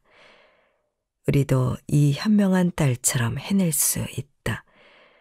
겁쟁이도 막무가내 싸움꾼도 답은 아니다. 중요한 것은 우리 스스로를 당당하게 표현할 힘과 대화 기술을 갖춰 남에게 자지우지 되는 일을 막아야 한다는 것이다. 안전거리를 확보하라. 모든 사람은 자신이 노력한 결과를 향유할 권리를 타고났다. 단 남들의 권리를 침해하지 않는 한 그렇다. 에이브리엠 링컨 악질적인 사람은 링컨의 말과 정반대로 행동한다. 남들의 권리를 침해하든 말든 자기가 즐거우면 그만이다. 나아가 의도적으로 경계를 침범해 지배력을 확보하려고도 한다. 이 때문에 우리가 물리적, 심리적 공간을 확보해 두고 못된 사람이 그 안으로 들어오지 못하도록 하는 것이 중요하다. 그렇게 하지 않으면 못된 사람은 계속 우리를 자극할 것이다. 말은 쉽지만 실제로 어떻게 하라는 거야. 내 공간이라니 너무 추상적이야. 좀 더 구체적인 설명은 없나 라는 생각이 드는가. 타당한 의문이다. 자, 그럼 구체적인 이야기로 넘어가자. 인간을 포함해 모든 동물에게는 안전거리라는 것이 있다. 이는 물리적인 동시에 심리적인 공간을 확보하기 위한 것이다. 눈에는 보이지 않는 그 경계 안으로 다른 동물이 침범에 들어오면 본능적으로 이를 위협과 위험으로 인식하는 것이다. 자기 영역으로 침범을 허용하지 않는 것은 야생동물이든 길들여진 동물이든 마찬가지다. 그런데 우리 인간은 여러 이유로 어쩔 수 없이 남들을 그 경계 안으로 들이는 경우가 많다. 그리고 이 때문에 문제가 발생한다. 상대가 공정하거나 친절하지 않게 행동한다면 사실 이는 대부분 우리가 경계를 제대로 설명하거나 요구하지 않았기 때문이다. 지금부터는 대체 그 경계가 무엇이며 어디에 있는지를 설명할 것이다. 경계를 보호하는 다양한 방법은 다음 장에 소개할 것이다. 나는 얼마 전에 반려견을 데리고 아침 산책을 하면서 경계 요구의 좋은 사례를 목격했다. 우리 개는 호기심이 많고 무척 활발하다. 때마침 털이 복실복실한 귀여운 개 한 마리가 나타나자 우리 개는 당장 그쪽으로 뛰어갔다. 동시에 몸집이 절반밖에 안 되는 상대편 개는 우리 개 쪽으로 몸을 돌려 맹렬하게 짖어댔다. 우리 개는 움찔의 뒤로 물러섰다. 작은 개는 그 자리에 멈춰 우리 개를 노려보았다. 우리 개는 좀 더 조심스럽게 다가가며 냄새를 맡으려 했다. 하지만 작은 개는 한층 더 큰 소리로 짖으며 사납게 으르렁거렸다. 우리 개는 결국 물러섰다. 작은 개는 그래 넌 불쌍한 강아지 시절을 보낸 탓에 이렇게 무리하게 행동하는구나 라는 식으로 우리에게 접근을 합리화하지 않았다. 아직 어리고 뭘 몰라서 그러는 거야 라며 경계 침범을 수동적으로 받아들이지 않았다. 상대의 입장에서 보면 이해할 만한 일이야 라고 그냥 넘기지도 않았다. 여기 처음 와서 친구가 없기 때문에 어서 나랑 사귀고 싶은가 봐 라며 너그러운 반응을 보이지도 않았다. 그러기는 커녕 작은 개는 우리 개의 행동이 마음에 들지 않는다는 마음을 더할 수 없이 분명하게 드러냈다. 자기 경계를 침범에 들어왔으니 어서 물러나라고 경고하는 것이다. 우리 개는 그 메시지를 알아듣고 물러났다. 우리 인간도 이처럼 경우에 따라 자기 경계를 분명하게 선포할 수 있다면 얼마나 좋을까. 우리 워크숍에서 악질적인 사람의 무리하고 거침없는 경계 침범 이야기를 들려준 사람들은 아주 많았지만, 그래서 어떤 말로 대응하셨나요? 라고 물었을 때 대답이 나오는 경우는 안타깝게도 극히 적었다. 작은 개와 달리 우리들은 악질적인 사람의 경계 침범을 오늘 기분 나쁜 일이 있었던 모양이다 라거나 설마 나를 기분 나쁘게 할 생각은 아니었겠지. 혹은 워낙 스트레스가 많으니 그럴 만도 해 라고 애써 합리하곤 한다. 그러고는 사회적 의무와 두려움이 혼합된 감정으로 원치 않는 침입을 받아들인다. 속으로만 저 사람이 이런 행동을 하다니 라고 원망하면서 권리를 보호받기에는 너무 간접적이고 무력한 대응이다. 개들은 물기 전에 열심히 짖는다. 우리도 적시에 미리 짖어서 악질적인 사람을 물리친다면 물어뜯어야 하는 사태까지는 가지 않을 수 있을 것이다. 앉아서 당하고만 있진 않겠어. 옳은 일을 하기 위한 최선의 방법 중 하나는 당당한 자세를 갖추는 것이다. 못된 사람들은 몸짓 언어를 통해 상대의 의지나 자신감의 정도를 파악하기 때문이다. 못된 사람들은 대개 자기보다 몸집이 작은 상대를 고른다.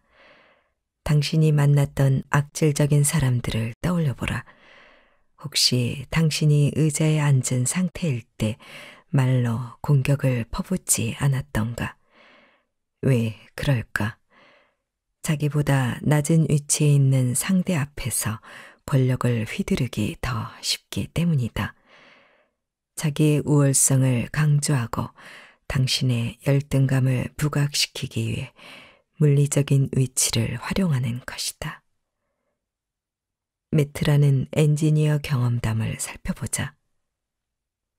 예전 직장의 동료 생각이 나는군요.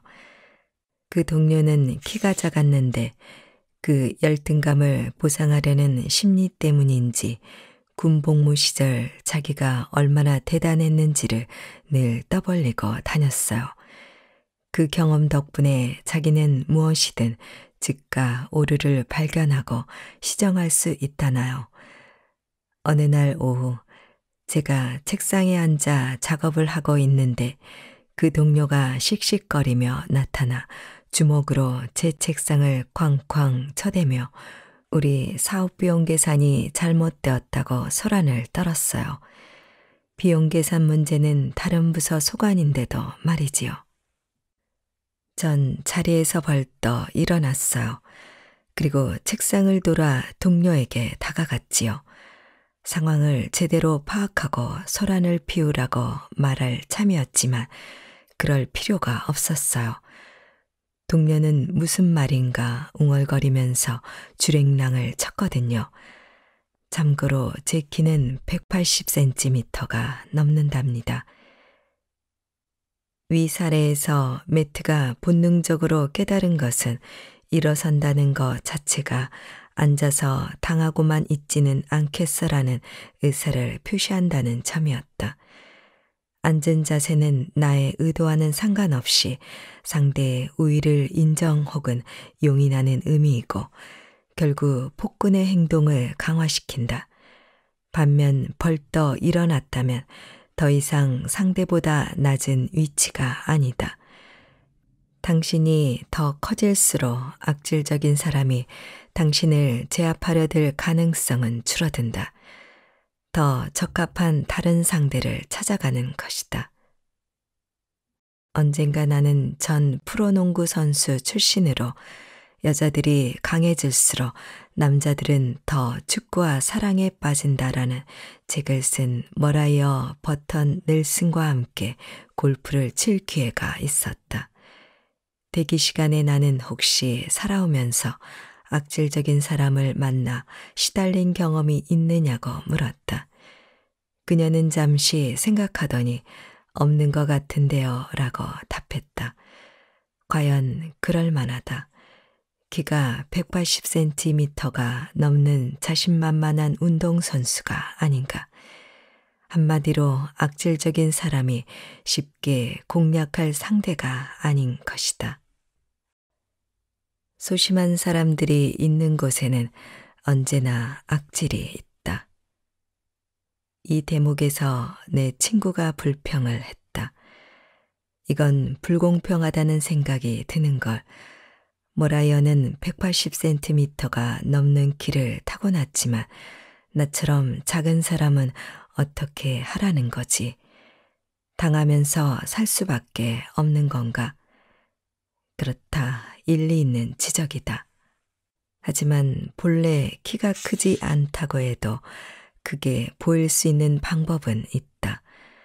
자그마한 사람이라도 적절히 자신감을 표출한다면 잠재적인 악질을 일찌감치 쫓아버릴 수 있다는 말이다. 범죄자들은 범행 대상을 찾을 때 먼저 자세를 본다고 한다. 걷거나 앉을 때 허리가 구부정한 사람은 표적이 되기 십상이다. 고개를 숙인다거나 시선이 불안정한 경우도 마찬가지다. 자기를 보호하려는 듯 팔짱을 끼고 있다거나 주저하듯 조심스레 걷거나 힘없이 터덜터덜 걷는 것도 위험하다. 이런 소심한 자세는 악취를 불러들인다. 자신감 있는 사람들은 자세가 다르다. 어깨를 뒤로 당기고 곱게 선다. 가슴도 활짝 편다. 고개를 세우고 차분한 시선으로 세상을 바라본다. 걸음걸이는 분명하고 힘차다. 의자에 앉을 때도 자세가 흐트러지지 않고 힘을 발산한다. 이런 자세는 고 나는 내가 누구인지 알고 그런 나를 좋아한다라는 메시지를 전달한다. 10대 청소년을 대상으로 하는 잡지사에서 자신감에 대한 기사를 준비하면서 내게 인터뷰를 요청한 적이 있었다. 나는 제일 먼저 10대 소녀들에게 가슴에 책을 안고 다니지 말라고 주문했다. 이렇게 하면 어깨가 앞으로 굽혀지고 수동적인 느낌을 주기 때문이다. 무거운 책은 배낭에 넣어 어깨에 매는 것이 좋다. 그러면 저절로 어깨가 뒤로 당겨지고 고개가 들리며 힘찬 발걸음으로 걷게 된다.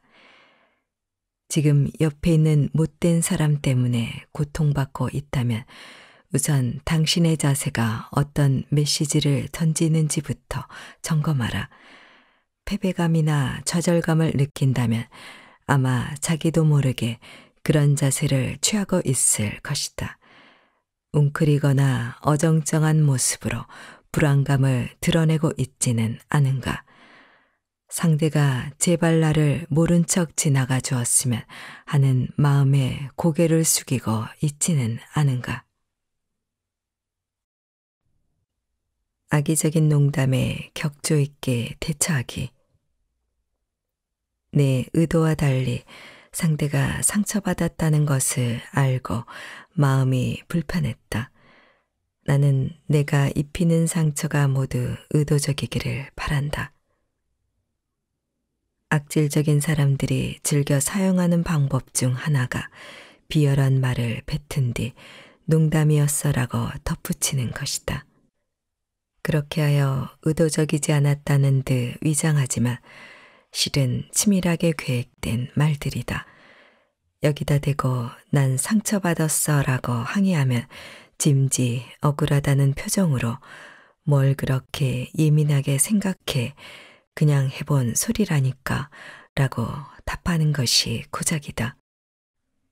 짓궂은 놀림은 사실 농담이나 그냥 해본 소리라는 말로 넘어가기 어렵다. 의도적이고 비열한 농담은 마음의 평화를 깨고 분노와 혼란을 불러일으키기 때문이다. 물론 짓궂은 놀림이 일상적인 소통의 방법으로 악의 없이 사용되는 경우도 있다. 하지만 못된 사람들은 흔히 이를 공격의 무기로 삼는다. 공격적인 말을 던진 뒤 그 결과에는 책임을 지지 않기 위한 술책이다.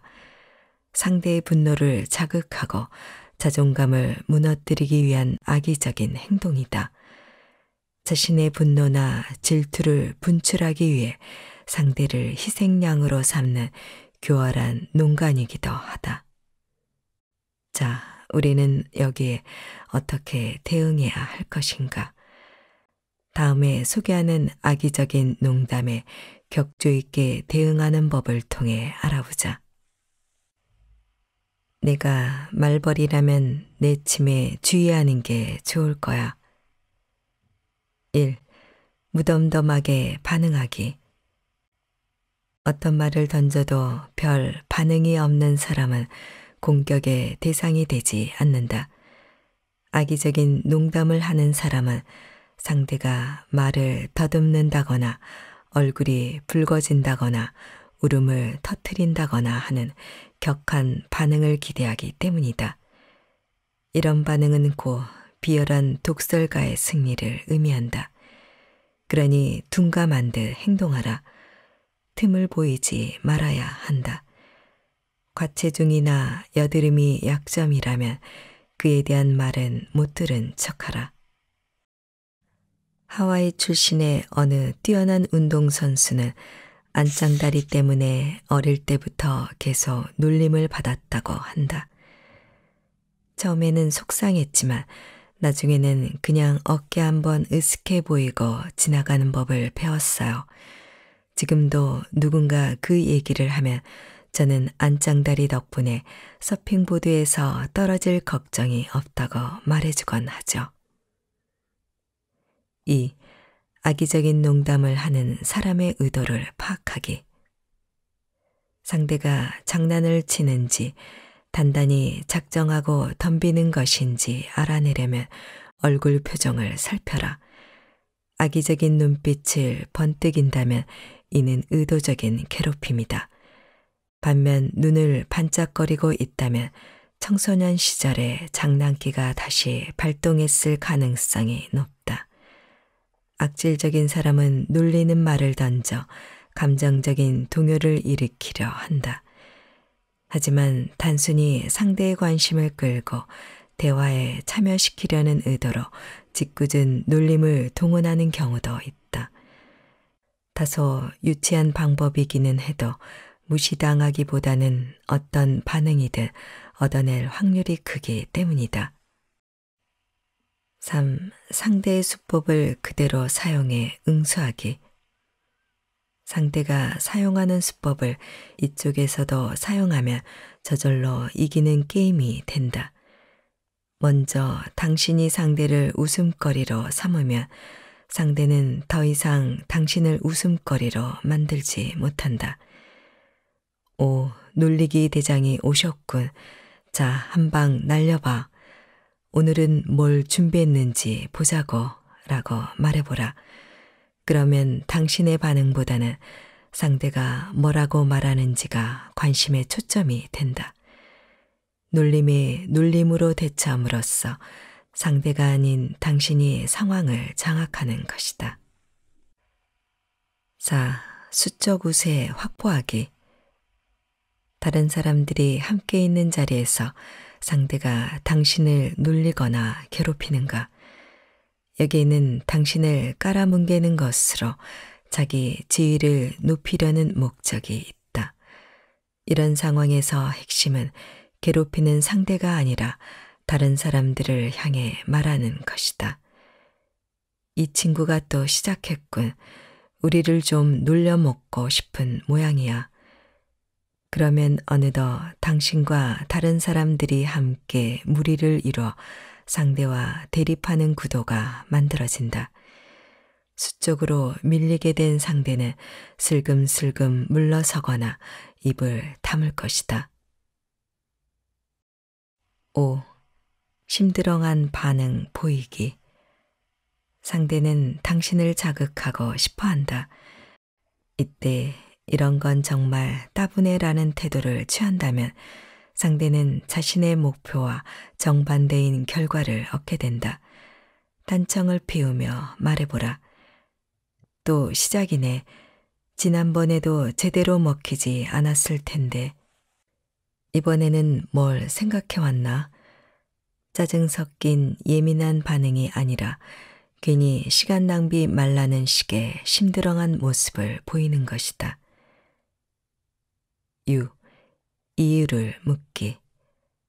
난 머리 염색한 거 아니라니까. 혹은 제발 그쯤 하고 그만둬 라고 반박하는 순간 상대는 승리감의 미소를 지을 것이다. 방어적으로 나가는 대신 핵심을 찌르는 식으로 공격하라. 왜 이러는 거지? 남의 기분을 망치면 기분이 좋은가 보지? 그런 유치한 즐거움밖에 모르나 봐. 상대의 속내를 밝히며 평가하면 상대도 손을 들어버릴 것이다. 7. 오히려 더 과장하기. 짓궂은 놀림을 유머로 대응하는 제일 좋은 방법은 즉가 동의한 후 내용을 덧붙이는 것이다. 컴퓨터에 대해 잘 모른다고 비아냥대면 이렇게 대답해 보라. 맞아. 누가 나더러 어떤 컴퓨터를 쓰느냐고 물으면 난 베이지색 컴퓨터를 쓴다고 대답하거든. 언어적 공격에 맞서기보다 함께 흘러가는 쪽을 택하는 방식이다. 내게 이 방법을 가장 잘 보여준 사람은 미식 축구 선수 테리 브레드쇼였다. 테리는 아주 능청스러운 사람이다. 왜 그렇게 못생겼느냐는 말을 들으면 이렇게 생겨서 다행이야. 브래드 피트처럼 생겼다면 아침마다 면도하는데 한 시간은 걸릴 테니까 라고 답한다.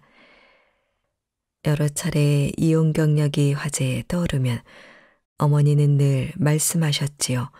결혼은 가족이 아닌 사람과 하는 것이기 때문에 어려움을 많이 겪을 거라고. 정말 그 말이 맞더군요. 라고 응수한다. 머리가 별로 좋지 않은 것 같다는 말에는 맞아요. 하지만 몸싸움으로 먹고 사는데 뭐 그렇게 머리가 좋을 필요는 없지요. 라고 받아친다. 이런 식이니 테리 앞에서 누가 악의적인 농담을 날릴 수 있겠는가? 당신 인생의 운전석에는 누가 앉아 있는가? 포기하지도 굴복하지도 말라. 때로는 정갈과 같은 공간에 있지 않아도 독침에 찔릴 수 있다. 나는 어느 잡지에서 세계적인 모델로 일하면서 한 남자에게 속박당한 채 지낸 한 여성의 이야기를 읽은 적이 있다. 그녀가 유럽으로 촬영 갔을 때였다고 한다. 사진사가 특정 포즈를 취해달라고 요청하자 남자가 그 포즈를 취하지 말라고 했다는 대답이 자동적으로 튀어나왔다. 수천 마일이나 떨어진 곳이었는데도 말이다. 당신도 매 순간 당신을 통제하는 누군가가 있는가? 자신도 모르게 이건 하지 말라고 할 텐데, 혹은 여기는 가지 말라고 하지 않았나 라고 혼자 말을 하고 있는가? 당신이 할 수 있는 일과 할 수 없는 일을 당신이 아닌 다른 사람이 결정하도록 한다면 당신은 아직 어른이 아니다. 그런 상황을 그냥 받아들인다면 꼭두각시 인형처럼 상대가 조종하는 대로 움직인다면 그것은 분명히 잘못된 것이다. 친밀한 관계에서는 당연히 서로의 행동을 타협하고 조정하는 과정이 일어난다. 하지만 상대가 당신 인생을 결정하도록 방치하지는 말라. 당신이 무엇을 생각하고 무엇을 원하며 무엇을 믿는지는 당신 자신이 결정해야 한다.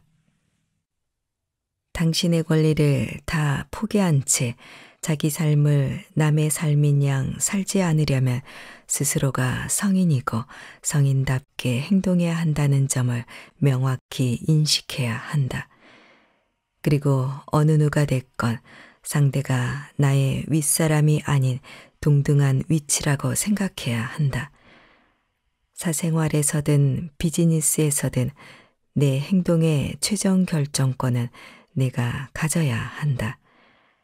타인의 원격 조정을 벗어나 힘을 되찾아야 한다. 워크숍에 참석해 잠자코 나의 말을 듣던 한 부인이 한숨을 쉬며 자기 이야기를 해주었다. 지금까지는 남편이 얼마나 제 삶을 자지우지하는지 미처 깨닫지 못했어요. 어느새 거기에 익숙해진 거지요. 어느 날 갑자기 남편은 자기가 승용차를 몬다면서 저더러 낡아빠진 트럭을 몰고 직장에 나가라고 했어요. 전 그 트럭이 딱 질색인데 말이지요. 또 주말이면 모형 비행기를 날리러 가는데 억지로 따라다니게 했어요. 전 멍청하게 앉아 남편과 남편 친구들이 노는 모습을 지켜보았지요. 또 제가 듣고 싶은 야간 강좌는 절대 허락해 주지 않았고요. 저도 이제 중년인데 어째서 아직도 사사건건 남편 뜻에 따라야 하죠. 아마 남편이 무섭기 때문이겠죠. 절 때리지는 않아요. 하지만 심한 말로 절 괴롭히지요. 남편 앞에서는 저도 모르게 위축되어 원하는 대로 해주지 않으면 험한 말을 듣게 될 것이 뻔하니까 그냥 따랐던 거예요. 그 사람 눈을 들여다보고 있으면 누군가의 조정을 받고 있다는 느낌이 듭니다. 명심하자. 그저 온순하게만 행동하다가는 제 몫을 못 찾는다. 앞으로는 악질적인 사람이 당신에게 생각이나 행동을 강요할 때 스스로에게 이렇게 말하라. 이 사람은 내 윗사람이 아냐. 내 의견도 이 사람 의견과 똑같이 중요해. 중요한 것은 상대가 당신 인생의 운전대를 마음대로 잡지 못하도록 해야 한다는 것이다. 앞의 사례에서 중년 부인이 여태까지와는 반대로 남편을 억누를 필요까지는 없다. 그저 남편이 자기를 더 이상 억누르지 못하게만 하면 된다. 난 당신 트럭이 딱 질색이니 당신이 그걸 몰고 나가요.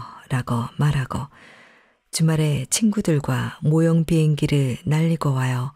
난 다른 계획이 있으니까 라고 용기 내어 말하는 것이다. 또 난 야간 강좌를 듣기로 했어요. 화요일과 목요일 저녁에는 강좌를 들으러 가야 하니 그렇게 알아요. 라고 마침내 말하는 것이다. 비평가는 신경 쓸 필요가 없다.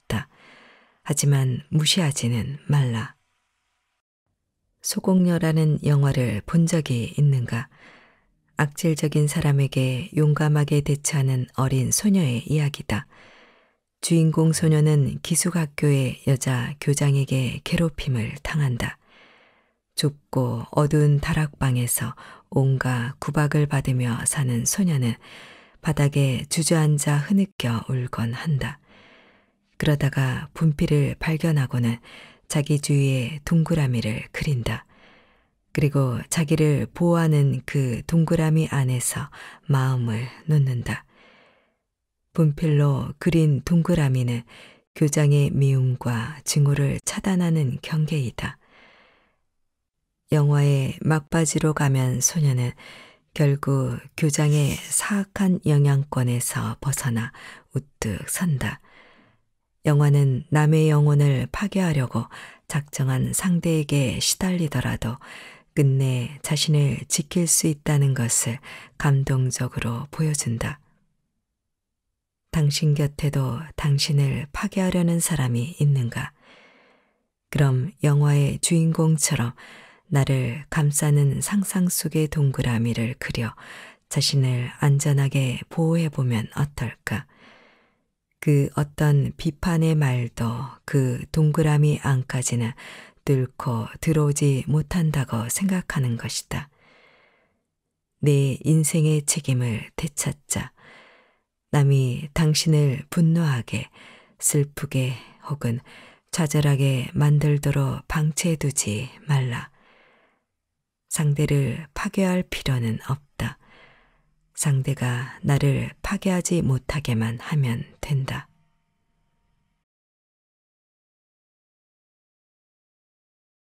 오늘 하루도 열심히 살았지만 답답한 마음으로 하루를 마감하게 되는 이유는 무엇일까요? 그것은 자신이 주체가 되지 못한 성실함 때문입니다. 오늘 소개할 책은 아무리 노력해도 항상 제자리 걸음인 사람들을 위한 성공 처방전. 사는 게 귀찮다고 죽을 수는 없잖아요. 입니다. 지은이는 젠 신채로, 옮긴이는 박선영, 발행은 홍익출판사입니다. 우리는 자신을 사랑하고 믿으라는 말을 쉽게 하지만 정말로 실천하면서 사는 사람은 흔치 않습니다. 현재의 삶이 불만족스러운데도 계속 방치하면서 살아온 이유는 내가 어쩌다 이런 상황에 놓이게 되었는지 정확히 진단하려 하지 않기 때문이죠. 내가 맹목적인 열정만으로 살지는 않았지만 있는 그대로의 자신을 인정하고 사랑하면서 살아왔는지를 생각해 봐야 합니다.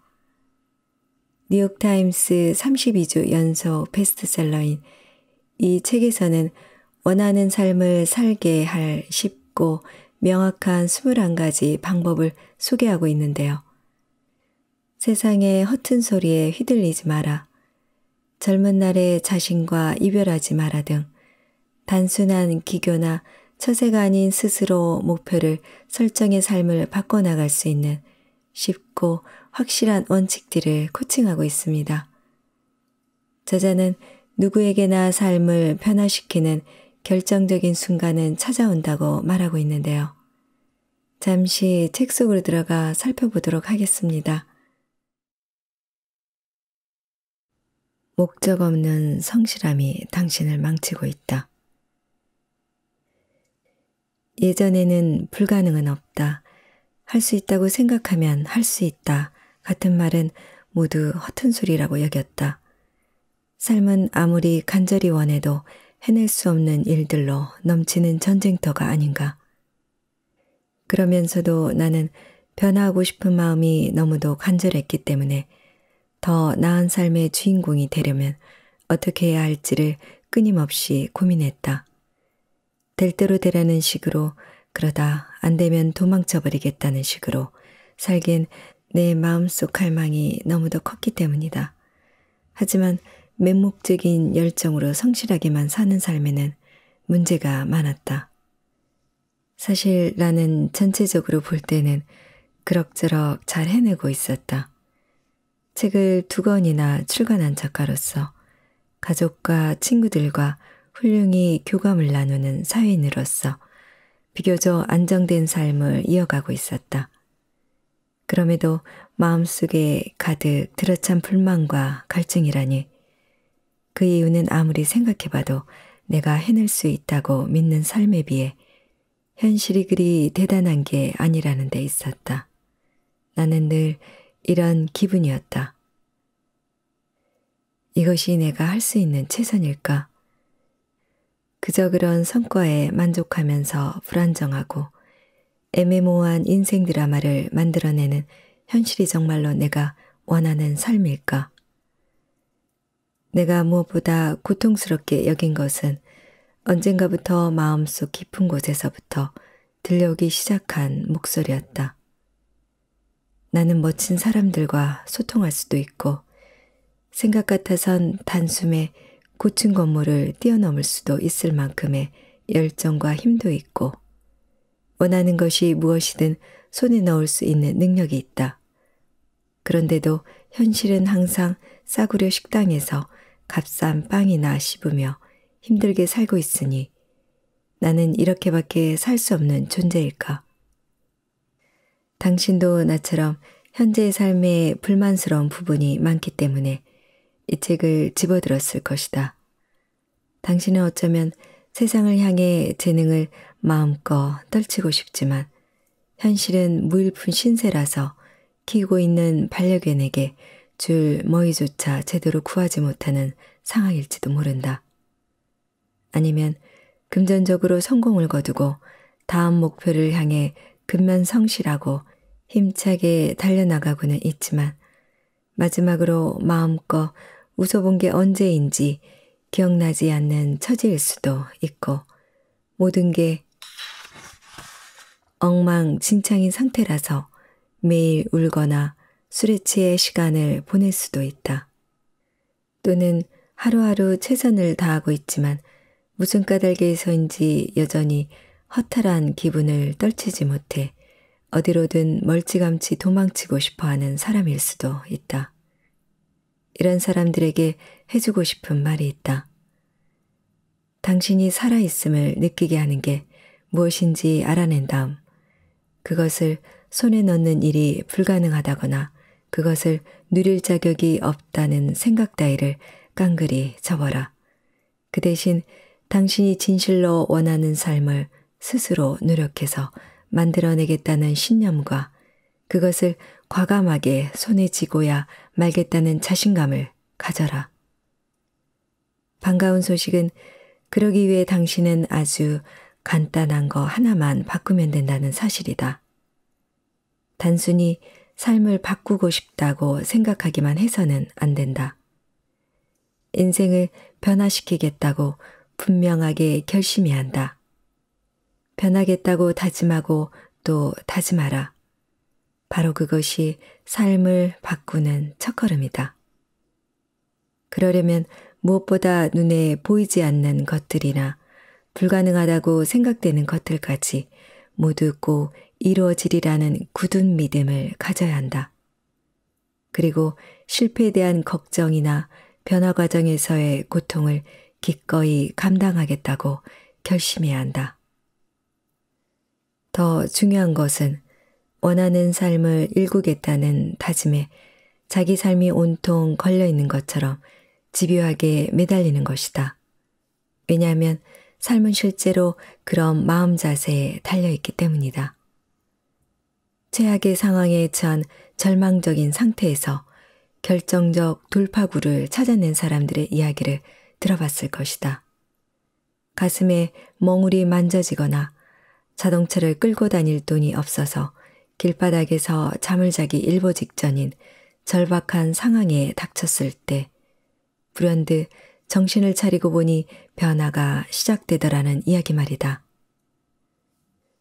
그렇다고 완전히 실패의 나락으로 굴러 떨어지기 직전까지 기다렸다가 다시 세상 밖으로 기어 나오려고 시도할 필요는 없다. 인생을 바꿀 열쇠는 다시 일어서겠다는 결단에 있기 때문이다. 나도 그랬고 다른 많은 사람들도 그랬을 것이다. 성공을 향한 우리의 여정은 어떻게든 의미 있는 변화를 이루겠다는 결심과 함께 시작된다. 그러니 이렇게 말할 수 있다. 대다수 사람들이 고군 분투하며 사는데도 성공자의 대열에 함께하지 못하고 현실에서 멀찌감치 벗어나게 되는 이유는 무조건 열심히 하면 된다는 식의 맹목적인 성실함에 있다고 말이다. 당신은 지금까지 해온 일을 통해 지금 이 자리에 와 있다. 하지만 지금까지의 노력이 헛된 것처럼 느껴지고 그간의 성실함에 배신당한 기분이 드는가? 현재 위치가 마음에 들지 않는가? 그렇다면 답은 의외로 간단하다. 지금까지 해온 방식을 확실하게 바꾸면 된다. 지금까지 살아본 적 없는 삶을 살고 싶다면 지금까지 해본 적 없는 일을 해야 한다. 여기에 목표가 분명한 열정을 쏟아부어라. 분명한 목표는 구체적인 계획을 세우게 하고 그 다음엔 당당한 행동 습관이 따르게 된다. 바로 이것이 성공하는 사람들의 비밀이다. 진심으로 부탁할 말이 있다. 당신이 지금 무한한 가능성의 세계로 가는 출발점에 있다는 사실을 강하게 믿어라. 이제까지 그런 믿음으로 살 때 어떤 일이 생기는지 확인해 보기 바란다. 그렇게 한다고 해서 잃을 것도 없지 않은가? 이제 오랫동안 당신의 삶을 압도해왔던 불신의 마음을 한쪽으로 밀어두고 어느 정도의 위험을 감수하고서라도 원하는 것을 추구하며 살겠다고 결심한다면 어느 날 잠에서 깨었을 때 당신이 예전에 그토록 바라던 삶의 주인공이 되어 있음을 깨닫게 될 것이다. 나는 어쩌다 이런 상황에 놓이게 되었을까? 나는 도대체 뭐가 문제일까? 가만히 앉아 걱정만 하지 마라. 현실도 걱정한 대로 될 뿐이다. 걱정 자체가 당신이 걱정하는 상황이 되도록 조정할 테니까. 조지프 머피 세상이 전하는 거짓 정보의 희생자들 몇해 전에 볼링장에서 큰 사고를 당한 적이 있다. 시합이 절정으로 치달으면서 친구들과 나는 서로가 먼저 승리의 기분을 만끽하려고 잔뜩 흥분해 있었다.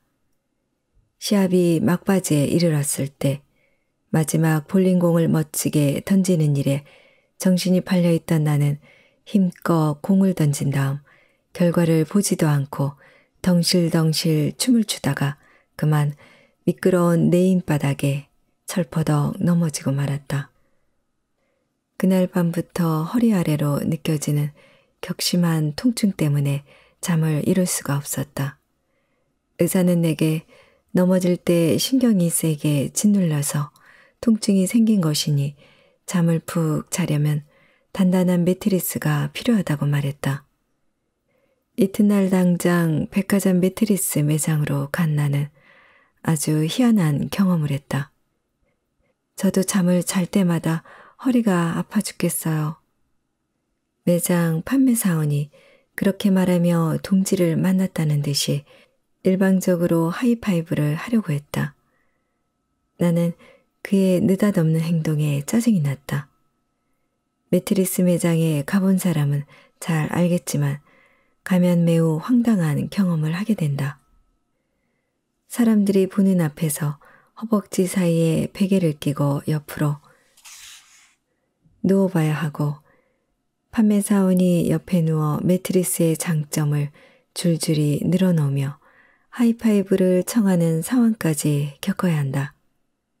나는 혹시 그가 나를 덮치기라도 할까봐 무서워서 재빨리 일어났다. 나는 그 남자를 곤란하게 만들고 싶지 않아 슬그머니 매장을 빠져나왔다. 우리 형제들은 어려서부터 부모님한테 누군가 불편한 관계에 놓이게 될 때는 그런 식으로 행동하는 게 최선이라는 교육을 받았다. 재빨리 화제를 돌리거나 아예 그 자리를 떠나는 식으로 상대의 관심으로부터 멀어지라는 말이다. 우리 부모님의 교육에 대해 말하다 보니 오래전에 어머니한테 들은 이야기가 생각난다. 어머니는 우리 형제들에게 늘 주변 상황이나 주위 사람들의 말 또는 행동에 함부로 휘둘리지 않는 게 진짜 지혜라고 말씀하시곤 했다. 벼락 같은 울음을 터뜨리며 세상에 태어났을 때 우리는 그냥 존재하는 것 말고는 아무것도 하지 못하는 갓난아기였다. 하지만 우리는 그것만으로도 충분히 행복했다. 자신의 벌거벗은 몸을 부끄러워하기는 커녕 몸이라는 게 있다는 사실조차 자각하지 못했다. 그러다 시간의 흐름과 함께 새로운 세상을 탐험하는 동안에 주위 사람들로부터 세상이 어떤 곳인지 말해주는 메시지들을 수없이 듣게 되었다. 그때 사람들은 평생을 써도 다 못 쓸 만큼 많은 정보를 우리에게 주입했는데 지금이 와서 생각해 보니 그것들 대부분이 사실은 삶의 진실하고는 별로 관계가 없는 것들이었다. 문제는 사회 전체가 이런 정보들을 강력히 뒷받침하면서 기정사실로 만든다는 점이다. 그 정보들은 우리가 살면서 대면하는 세상의 진실과는 별 상관이 없는데도 끝없는 생명력을 가지고 우리 곁을 맴돈다는 점에서 문제의 심각성이 있다. 성공과 행복으로 가득한 삶을 원하는 당신은 그 모든 거짓 정보들을 모조리 물리쳐야 한다. 나는 그러한 정보들의 실체와 그것들을 이겨나가는 방법에 대해 이 책에서 계속해서 강조할 것이다. 의식의 근육을 강화하라. 인간의 의식은 크게 현재 의식과 잠재 의식으로 나뉜다. 현재 의식은 자기가 지금 의식하고 있는 이성적인 부분이고 잠재 의식은 의식하지 못하는 본능적인 부분이다. 우리는 대개 현재의식에 해당하는 부분에 대해서만 알고 있는데 이유는 현재 의식 안에서 모든 정보가 처리되기 때문이다. 현재 의식은 사춘기가 될 때까지는 완전히 발달하지 않지만 성인이 되면서 폭발적인 활동성을 갖고 우리 삶을 뒷받침한다. 또한 현재 의식은 우리가 잠을 잘 때는 일시적으로 멈췄다가 눈을 뜨는 순간 즉시 활동을 재개한다는 특성이 있다. 반면에 잠재의식은 우리가 태어나는 순간부터 이미 완전히 발달되어 있다. 잠재의식은 우리의 감정과 본능에 관여하는데 슈퍼마켓 한복판에서 누군가 느닷없이 기청을 찢는 듯한 소리로 짜증을 내는 것처럼 갑작스럽게 분출되곤 한다. 잠재의식은 우리가 외부에서 얻은 정보들을 모조리 저장해 두는 곳으로 문제는 잠재의식에는 여과장치가 없어서 보고 들은 것은 무엇이든지 받아들인다는 데 있다. 잠재의식은 무의식의 세계 안에 차곡차곡 쌓아둘 만큼 진실과 거짓의 차이를 구분하지 못한다. 잠재의식은 어릴 때 접한 거의 모든 정보를 있는 그대로 받아들인 채 여전히 철부지 상태에 머물러 있을 만큼 순수하다는 특징이 있다. 이는 어렸을 때 뇌에서 의식을 관장하는 부분인 전두엽이 충분히 형성되지 않았기 때문으로 모든 정보가 잠재의식 속의 하나의 진실처럼 자리 잡을 수밖에 없었다. 이런 현상은 급기야 어른이 된 뒤에 상담실에 누워 심리 치료를 받거나 약물 중독 재활 치료를 받는 순간까지도 처음 그 모습 그대로 체내에 머물러 있게 된다. 따라서 누군가 눈물을 흘리며 나는 도대체 뭐가 문제일까? 라고 자문한다면 정확한 답은 잠재의식에 버티고 있는 그릇된 신념이라고 확실하게 말할 수 있다. 많은 사람들이 신념을 가지고 행하는 많은 일에서 계속 헛발질을 하며 고생하거나 보이지 않는 무엇에 짓눌린 채 원하는 삶과 전혀 딴판으로 살아가는 이유는 바로 이 때문이다. 그릇된 신념은 그릇된 방향으로 이끌어 그릇된 결과를 낳게 하는 원흉이다. 이 모든 것의 출발점에 맹목적인 열정이 숨어 있음을 잊지 마라. 당신이 어릴 적에 몹시 궁핍한 부모님 밑에서 자랐다고 치자.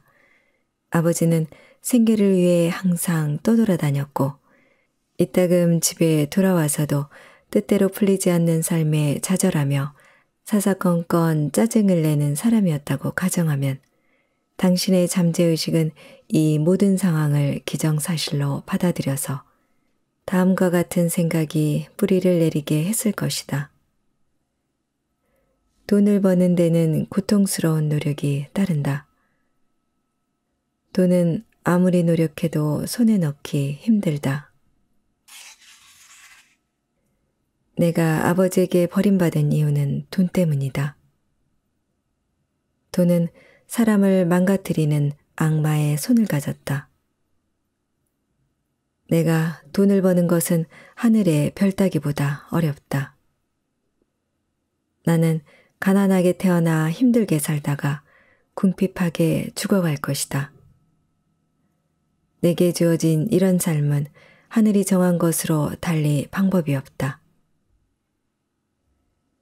이런 생각에 사로잡힌 채로 살면 설령 돈을 벌게 되더라도 사랑하는 이들에게 버림을 받을지 모른다는 두려움에 떨게 된다. 이렇게 돈에 대한 불신이 가득한 상태에서는 아무리 의식적으로 돈을 벌려고 노력해도 계속 빈털터리를 면치 못하거나 큰 돈을 벌었다가도 얼마 못 가 몽땅 탕진해버리는 상황을 반복하게 된다.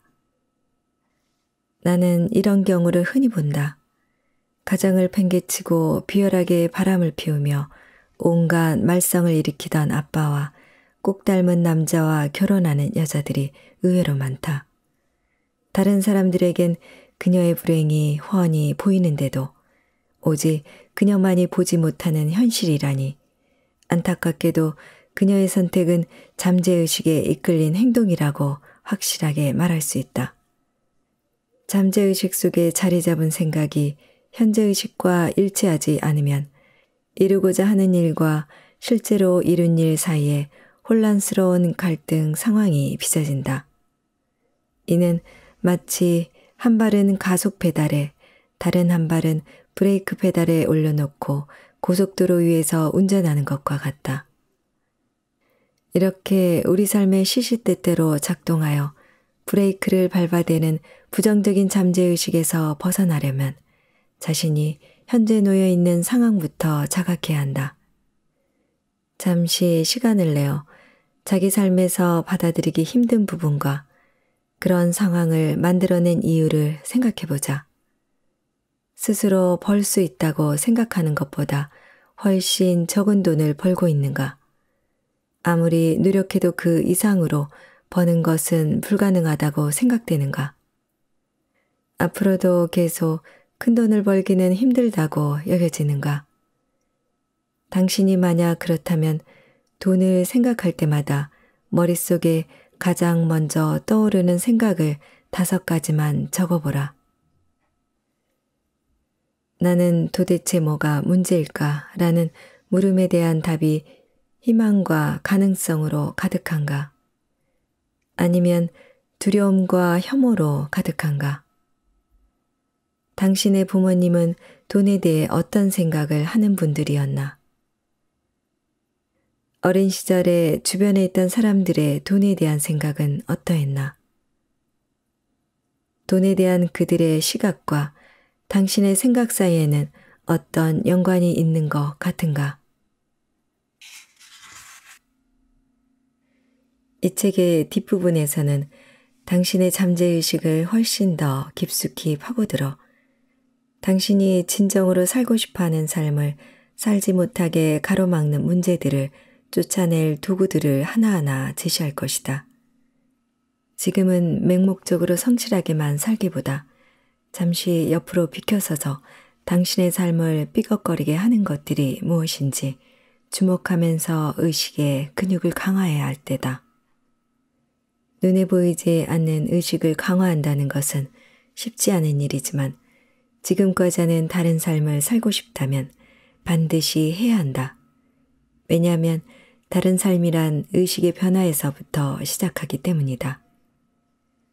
그러기 위해 제일 먼저 잠재의식에서 만들어내는 부정적인 이야기들을 마음에서 쫓아내는 일이 필요하다. 하나하나 끄집어내 왜 그런 생각을 자꾸 하게 되는지, 하나의 생각이 어떤 연유로 그토록 길게 꼬리를 물고 일어나는지 돌아보자. 물론 하루아침에 되는 일은 아니고 한꺼번에 해서 될 일도 아니다. 습관이 중요하다. 자기 마음속에 기생하고 있는 부정적인 감정들을 쫓아내는 일을 습관으로 만들면 어떤 일을 하기 전에 부정적인 생각이 떠오르는 즉시 마음속에 교통경찰이 출동해 악취나는 요인들을 밖으로 쫓아낼 것이다. 그러고 나면 이제부터는 그 안에 자기 삶에 반드시 받아들이고 싶은 신선하고 강한 신념들을 초대할 공간을 마련할 수 있다. 이런 일이 의식적으로 머릿속에 완전히 자리 잡도록 만들자. 마치 체면에 걸린 사람이 체면술사의 말에 자동으로 반응하듯이 긍정적인 신념들이 자동적으로 표출되도록 만들어야 한다. 이것이 바로 성공하는 삶을 위해 꼭 필요한 의식의 근육을 강화하는 첫걸음이다. 내가 원하는 나를 얻는 법. 행복한 사람이 되기를 바란다면 쉽게 이룰 수 있지만 남보다 훨씬 더 행복한 사람이 되기를 바란다면 결코 그렇게 될 수 없다. 왜냐하면 우리는 항상 나보다 남들이 더 행복하다고 믿기 때문이다. 샤를드 몽테스키웨 내가 만든 막장 드라마의 주인공은 누구인가? 요가 강사가 수강생들에게 비둘기 자세를 취해보라고 했다.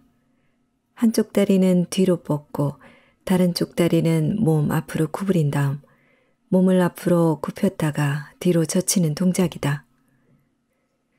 운동신경이 뛰어난 사람은 이 동작을 무리 없이 해내겠지만 평소 몸이 몹시 둔한 데다 골반을 그런 식으로 자유자재로 움직이지 못하는 나한테는 여간 힘든 자세가 아니었다. 자세를 취할 때마다 온몸이 욱신거렸고 잘못해 근육이 뒤틀려 꼼짝 못하는 상태가 되지 않을까 겁이 났다. 하지만 아무리 힘들어도 다 같이 참여하는 수업 시간이기에 어쩔 수 없이 강사의 지시에 따라야 했다. 나는 골반에 엄습하는 극심한 통증에도 불구하고 최대한 긴장을 풀고 강사가 지시하는 자세를 취해야겠다고 결심했지만 몸이 제대로 따르지 않았다. 나는 어설프게나마 비둘기 자세를 취한 다음 땀을 뻘뻘 흘리면서 강사가 빨리 다른 자세로 바꾸라고 지시해 주기만을 빌었다. 그러나 강사는 인간과 우주와의 연결, 호흡의 중요성, 그리고 진정한 깨달음을 이루는 법에 관해 설명하느라 자세를 바꾸라는 말을 하지 않았다. 나는 이를 악물고 속으로 외쳤다. 오, 제발 강사님. 몸이 찢어질 것 같아요. 빨리 나에게 와서 몸을 펴줘요. 안 그러면 이대로 으스러질 것만 같아요. 그런데 거의 눈물이 나올 지경이 되었을 때 갑자기 이상한 일이 일어났다. 어느새 내가 그 자세 안에서 자연스럽게 호흡을 하고 있었던 것이다. 입에서는 투덜거리던 소리가 멈췄고 온몸이 다소곳해졌다. 나는 깜짝 놀랐다. 둔하게 짝이 없는 몸이 아주 안정적으로 요가 자세를 소화해내고 있었던 것이다. 고통이 사라지고 공포감도 자취를 감추었다. 뭐라 표현할 수 없는 기쁨이 가득 차올랐다. 하지만 그것도 잠시 내 몸이 다시 꼼짝 못하는 상태에 빠지고 말았다. 몸이 돌덩이처럼 굳어버린 느낌이었다. 숨이 멎을 것 같은 고통이 밀려왔다. 오, 제발 강사님, 더 이상은 못 참겠어요. 허리가 끊어질 것 같아요. 무릎이 불에 댄 듯이 화끈거려요. 그런데 그때였다. 뭔가 알 수 없는 충만감이 밀려들면서 마음이 더없이 편안해지고 예전엔 맛보지 못한 환희가 밀려왔다. 나는 비둘기 자세에 깊이 녹아들어 더없이 편안한 행복감을 느꼈다. 그때 나는 깨달았다. 머릿속으로는 더 이상 참지 못하겠다고 비명을 질러대는 상황과 그 다음 순간 가슴 한편의 우주 에너지와 호흡을 나누며 충족감을 느끼는 상황이 번갈아 찾아오는 것은 사실 우리가 인생을 살아가는 기본적인 방식이기도 하다는 사실을 말이다. 골반이 빠져나갈지도 모르는 가능성, 미래에 대해 걱정하거나 내가 그런 자세를 취하는 게 얼마나 힘든지 과거를 생각하는 대신 이 순간 나를 가득 채우는 충족감에만 흠뻑 빠져들 수 있다면 그것만으로도 충분히 행복할 것이다. 따라서 이렇게 말할 수 있다. 아직 오지도 않은 미래를 걱정하거나 이미 흘러가 버린 과거에 매달려 안달복달하지 말고 오직 이 순간을 즐겨라. 그렇게 되면 그동안 내가 만든 막장 드라마의 주인공을 자처에 연기하면서 얼마나 심하게 나 자신을 괴롭혀 왔는지, 그래서 소중한 시간들을 얼마나 낭비해 왔는지를 돌아보게 될 것이다. 우리는 회전축을 중심으로 정해진 경로에 따라 정확하게 운행하면서도 우주 공간을 재빠르게 돌진하고 있는 거대한 행성에 살고 있다. 그 안에서 우리의 심장은 정확한 리듬으로 작동하고 있다. 더구나 사랑과 웃음, 언어, 열정, 꽃, 음악, 상과들이 있는 무한대 크기의 세상에 살고 있다. 우주는 우리 한 사람, 한 사람을 사랑하고 우리가 우주의 힘이 일으키는 각종 기적에 적극적으로 참여하기를 바라기 때문에 가끔은 놀라운 경험을 하게 만든다. 내 지인은 고속도로에서 운전하다가 음주운전자가 모는 대형 트럭에 떠밀려 50m 언덕 아래로 굴러 떨어졌다.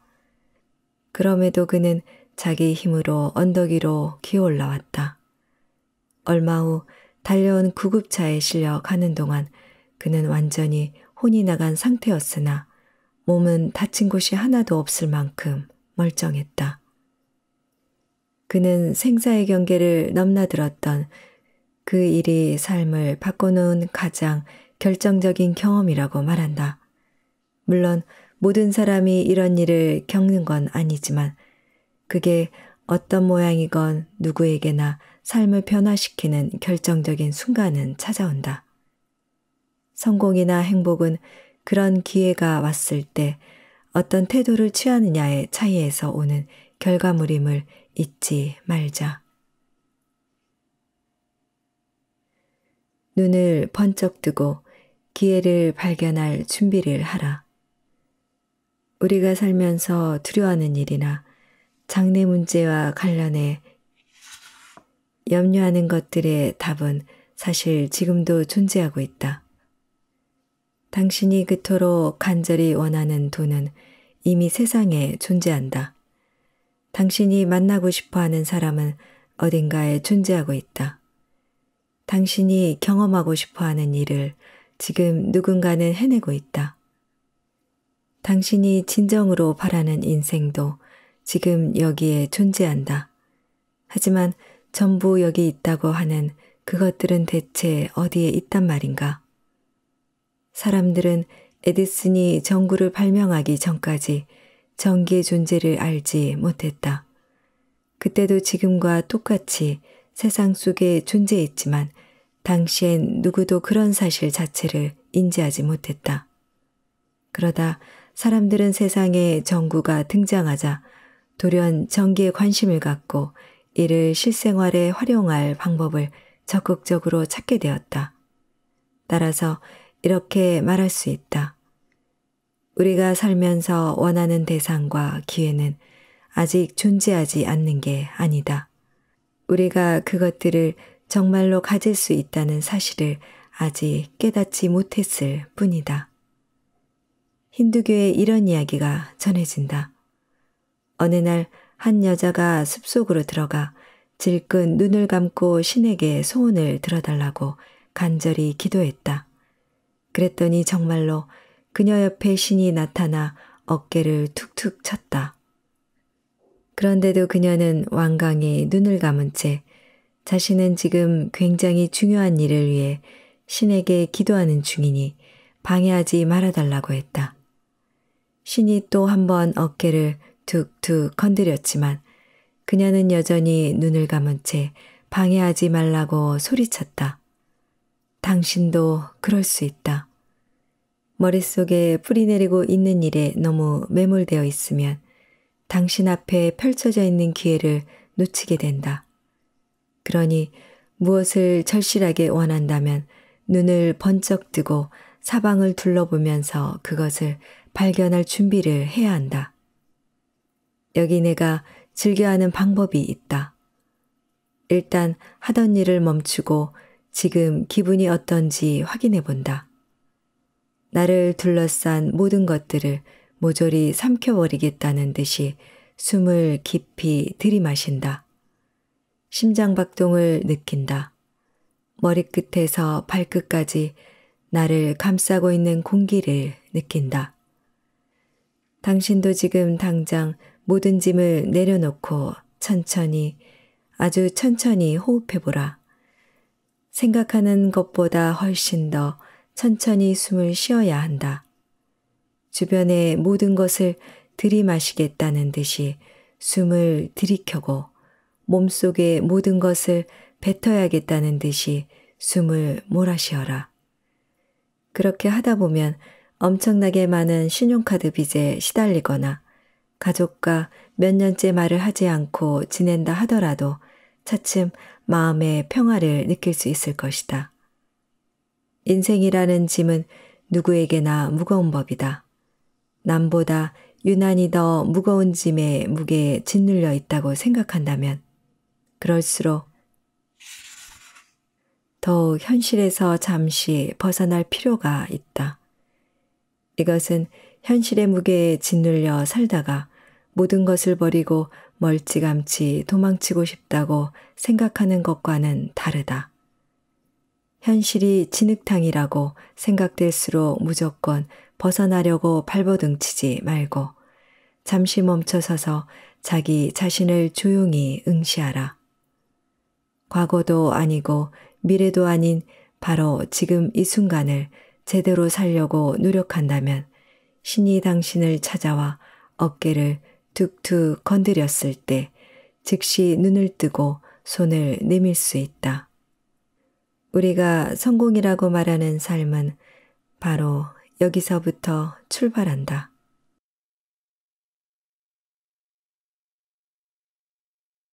오늘 소개할 책은 누구에게나 대인 불안이 있다.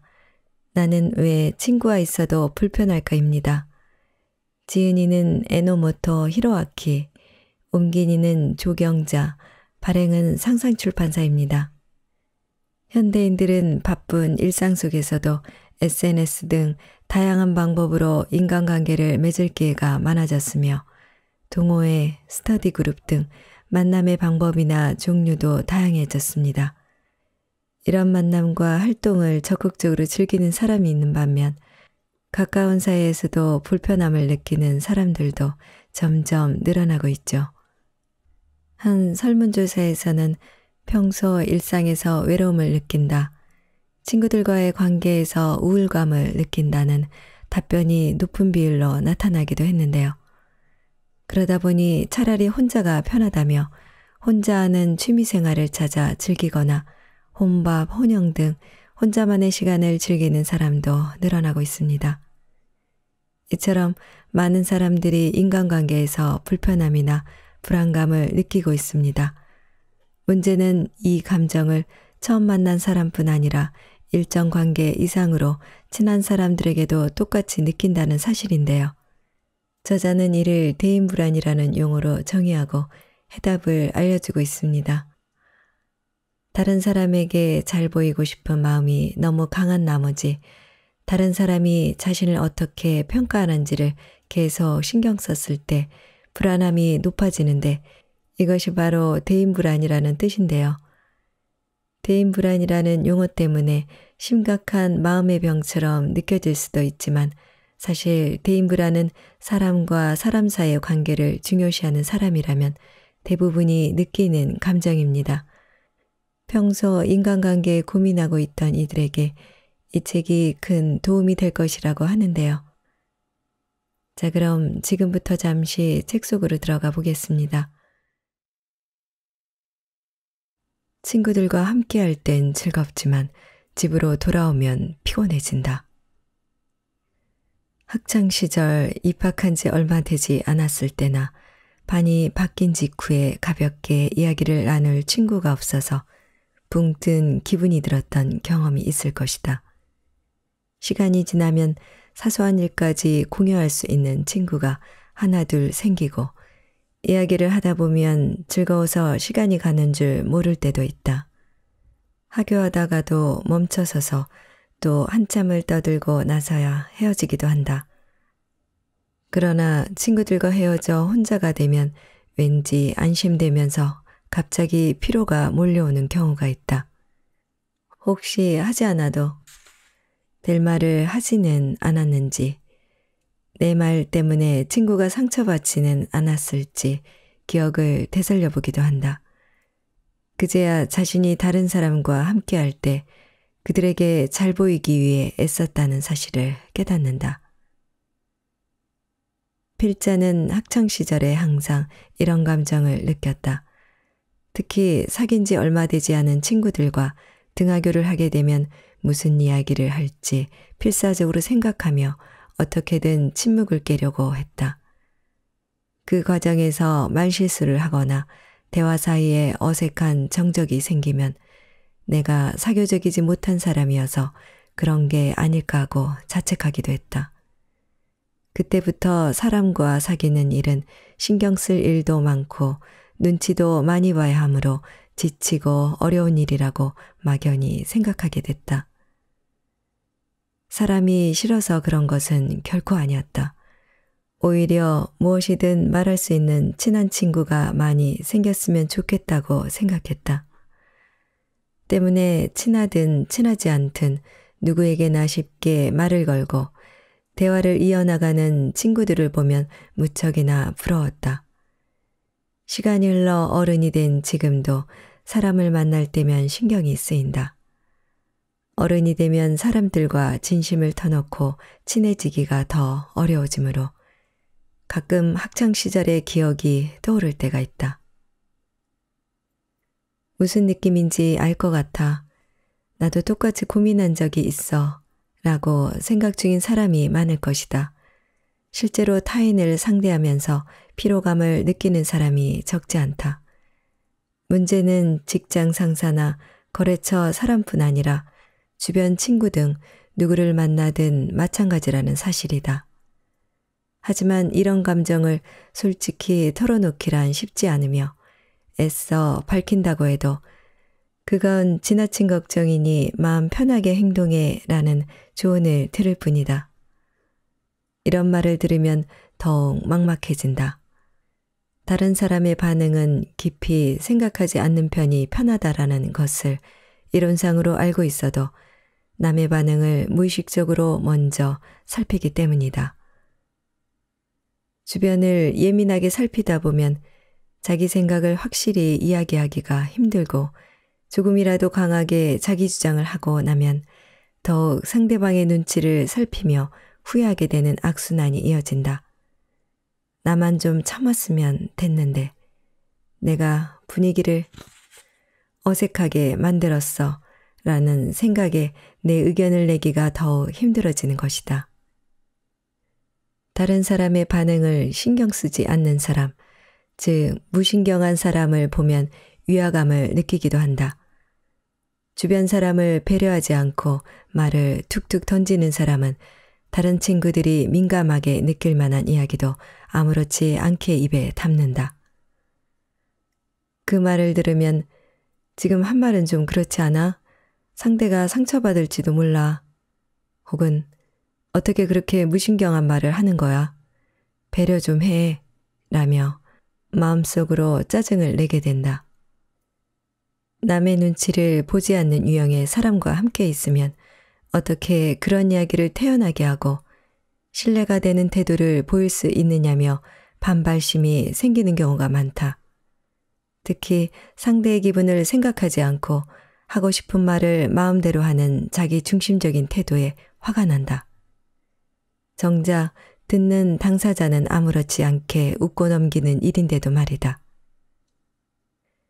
이처럼 다른 사람을 지나치게 배려하느라 피곤함을 느끼는 유형은 신경을 먼 곳으로 돌리면 편하다는 사실을 알고 있으면서도 행동으로 옮기지는 못한다. 누구에게나 서슴없이 대하는 태도가 부럽다고 생각하면서도 무신경한 사람이 되고 싶지는 않다고 생각한다. 그렇다면 어떻게 하면 좋을까? 그 답을 찾는 것이 이 책의 목적이다.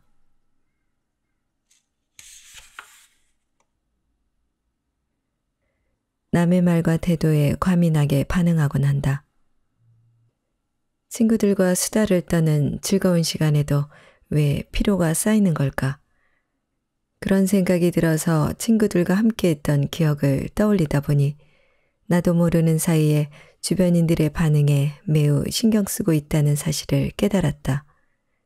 특히 안 지 얼마 안 된 사람과 만나는 자리에서는 그들이 쓰는 단어와 말투, 표정과 몸짓, 무심코 보이는 태도 등에 예민해져서 자연스레 상대의 안색을 살피고 있었다. 어떤 말을 꺼냈을 때 상대가 금방 대답하지 않거나 웃지 않으면 방금 그 말을 하지 말 걸 그랬나? 안 좋은 뜻으로 받아들였을지도 몰라. 라는 식으로 상대의 반응을 관찰하고 있었다. 또 상대의 말수가 적어지거나 표정이 안 좋아 보이면 내가 기분을 상하게 하거나 상처를 준 것 같다는 걱정이 들었다. 상대의 사소한 말과 태도에 깜짝 놀라기도 했다.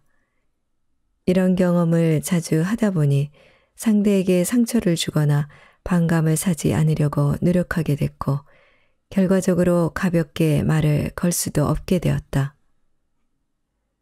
다른 사람에게 상처를 주거나 반감을 사기 싫다는 이유만으로 친구들의 눈치를 본 것은 아니었다. 내 이야기가 재미없는 것은 아닐까? 상대가 이 상황을 지루해하지 않을까? 하는 불안감도 있었다. 항상 사람들의 중심에 있고 말도 재미있게 하는 친구와 달리 나와 같이 있을 땐 즐겁지 않을 것 같다는 생각이 들었다. 특히 단둘이 남게 되는 상황이 되면 재미없는 얘기라고 생각하지 않을까? 라는 부담감의 분위기를 띄우려고 웃긴 이야기를 했다. 그 중에는 의도와는 다르게 웃기지 않은 이야기도 있었다. 분위기가 썰렁해지는 순간 후회가 밀려왔다. 필자는 딱히 따돌림을 당하는 것도 아니었고 어울려 노는 친구 무리도 있었다. 그러나 친구들과 이야기를 나누는 내내 마음 한구석이 불안했다. 즐거운 감정과는 별개로 좋은 사람으로 보이고 싶다는 부담감에 정신은 녹초가 되곤 했다. 심리학 수업을 하며 이런 필자의 경험을 들려주면 학생들 역시 친구들과 함께 있어서 즐겁지만 헤어지고 나면 갑자기 피로가 몰려오는 일이 잦았다. 그 이유를 이제 알게 됐다. 자신은 외향적이고 사교성도 좋아서 친구와 시간 보내는 것을 좋아한다고 생각했지만 사실은 대인관계에 에너지를 많이 쓰고 있다는 사실을 깨달았다. 는 경험담을 들려준다. 그 중에서 기대에 부응하고 싶어 친구들에게 무리하게 맞추다가 이런 걸 친구 관계라고 할 수 있는 것일까 하는 회의감이 들기도 했다는 속내를 털어놓는 학생도 있었다.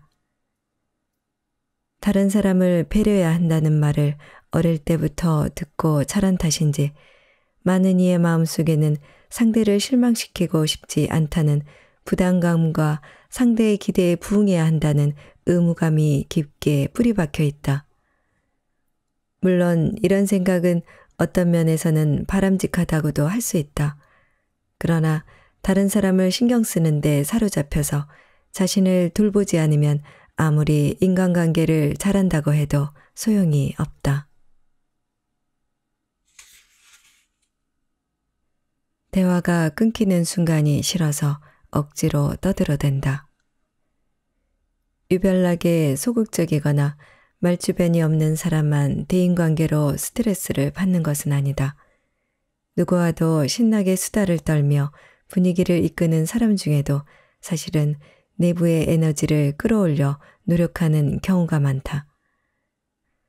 어떤 모임에서든 분위기를 살려야 한다며 목소리를 높여 놀다가도 돌아가는 길에 혼자가 되면 쓸데없는 소리를 너무 많이 한 것 같아서 후회에 빠진다. 고백하자면 필자 역시 그런 사람이었다. 주변에서는 그를 저렇게 떠들어대니 가볍다는 소리를 듣지 라고 얕잡아 보거나 항상 즐겁게 무사 태평한 것 같아서 좋겠다 라고 부러워할지도 모른다. 그러나 당사자는 결코 가벼운 사람도 아니고 무사 태평하지도 않다. 사람들과 어울리겠다는 일념으로 대화를 이끌고 목소리를 높이는 것이다.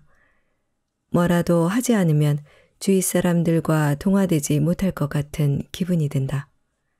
그러다 보면 무심코 마음이 들뜨고 결과적으로 숨겨두고 싶었던 이야기까지 터들게 된다. 저는 이웃 사람과 거의 대화를 나누지 못합니다. 무엇을 어떻게 말하면 좋을지 모르기 때문입니다. 그래서 생각해낸 것이 익살이었습니다. 그것은 인간에 대한 저의 마지막 구애였습니다. 자신은 인간을 극도로 무서워하지 않는 경향이 있습니다. 그러면서도 인간을 절대 단념할 수가 없었던 것 같습니다. 그리하여 저는 익살이라는 가는 실로 간신히 인간과 연결될 수 있었습니다. 인간으로서의 제 말과 행동에 전혀 자신을 갖지 못한 채 자기만의 고뇌는 가슴 속에 작은 상자에 숨겨두었습니다. 그 우울과 긴장감을 그저 숨겨둔 채 한결같이 천진난만한 낙천가인 척 가장하면서 저는 익살스럽고 약간은 별난 아이로 점점 완성되어 갔습니다. 일본의 소설가 타자이 오사무의 인간 실격에는 그러한 인물이 극단적인 형태로 묘사되어 있다. 이 작품은 작가 자신의 내면을 충실하게 그려낸 정신적인 자서전이기도 하다. 우스꽝스러운 짓을 하여 주변과 동화될 수 있었던 주인공은 읽고 교실의 스타가 되어간다.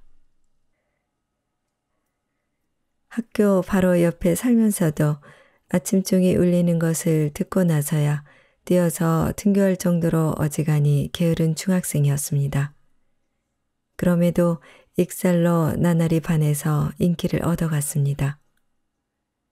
연기력은 실로 쑥쑥 늘어서 늘 반 친구들을 웃겼습니다. 선생님도 이 반은 오바, 소설 속 화자만 없다면 참 좋은 반인데 라고 말로는 탄식하면서 손으로 입을 가리고 웃으셨습니다. 인간 실격의 주인공은 익사를 부리며 주위에 동화될 뿐 아니라 상대의 기분을 살피다가 무심결의 진실을 말할 수 없게 되어버리는 심리에 대해서도 고백하고 있다. 어차피 들킬 게 뻔한데도 솔직하게 말하는 게 무서워서 반드시 거기에 꼬리를 다는 것이 저의 가벼운 버릇의 하나로 그것은 세상 사람들이 거짓말쟁이라고 부르며 깔보는 성격과 닮아 있지만 저는 무슨 이득이라도 보려고 그런 꼬리를 단 적은 거의 없습니다. 단지 흥이 깨지면서 분위기가 바뀌는 것이 질색할 것 같이 싫어서 나중에 불이익을 당하리라는 것을 알면서도 이 필사적인 서비스 그것이 설령 일그러지고 미약하며 우스꽝스러운 것이라 할지라도 그 서비스 정신에서 저도 모르게 한마디 덧붙이게 되는 경우가 많았습니다. 나중에 괴로워질 것을 알면서도 눈앞의 상대와 서먹서먹해지는 것이 무서워서 서비스 정신을 발휘하여 쓸데없는 말을 짓거려버린다. 그런 버릇을 자각하면서도 자신의 행동 패턴을 바꾸지 못한다. 이 작품을 쓴 타자의 오사무는 시대를 초월하여 많은 젊은이들에게 사랑을 받았다. 이러한 현상은 생각보다 더 많은 사람이 다른 사람과 관계를 맺는데 곤란을 겪는다는 것을 나타낸다. 그것은 사춘기부터 자의식이 높아지며 타인과 자신을 비교하고 자신을 하찮게 여기게 되며 자신이 세간의 시선에 어떻게 비치는가에 신경을 쓰게 되는 청년 심리학적 견해와 잘 들어맞는다. 청년기적 심성을 이어간 다자의 오사무의 그 자아식의 강도는 아내인 츠시마 미치코의 회상에서도 살펴볼 수 있다. 다자의 오사무를 가까이에서 봐온 아내는 회상다자의 오사무라는 에세이를 통해 남편이 항상 스스로를 응시해왔다고 다음과 같이 밝히고 있다. 풍경에도 스쳐 지나가는 사람에게도 눈을 떼지 않고 자신의 모습을 끊임없이 의식하면서 살아가는 사람이었습니다. 함께 인생길을 걸어가면서 이 사람은 보는 사람이 아니라 보이는 사람이라고 생각했습니다.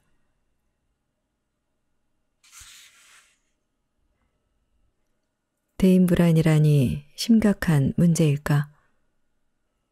현대인들은 사람들과 잘 지내는 경우라도 마음속으로는 늘 대인관계의 불안을 느낀다.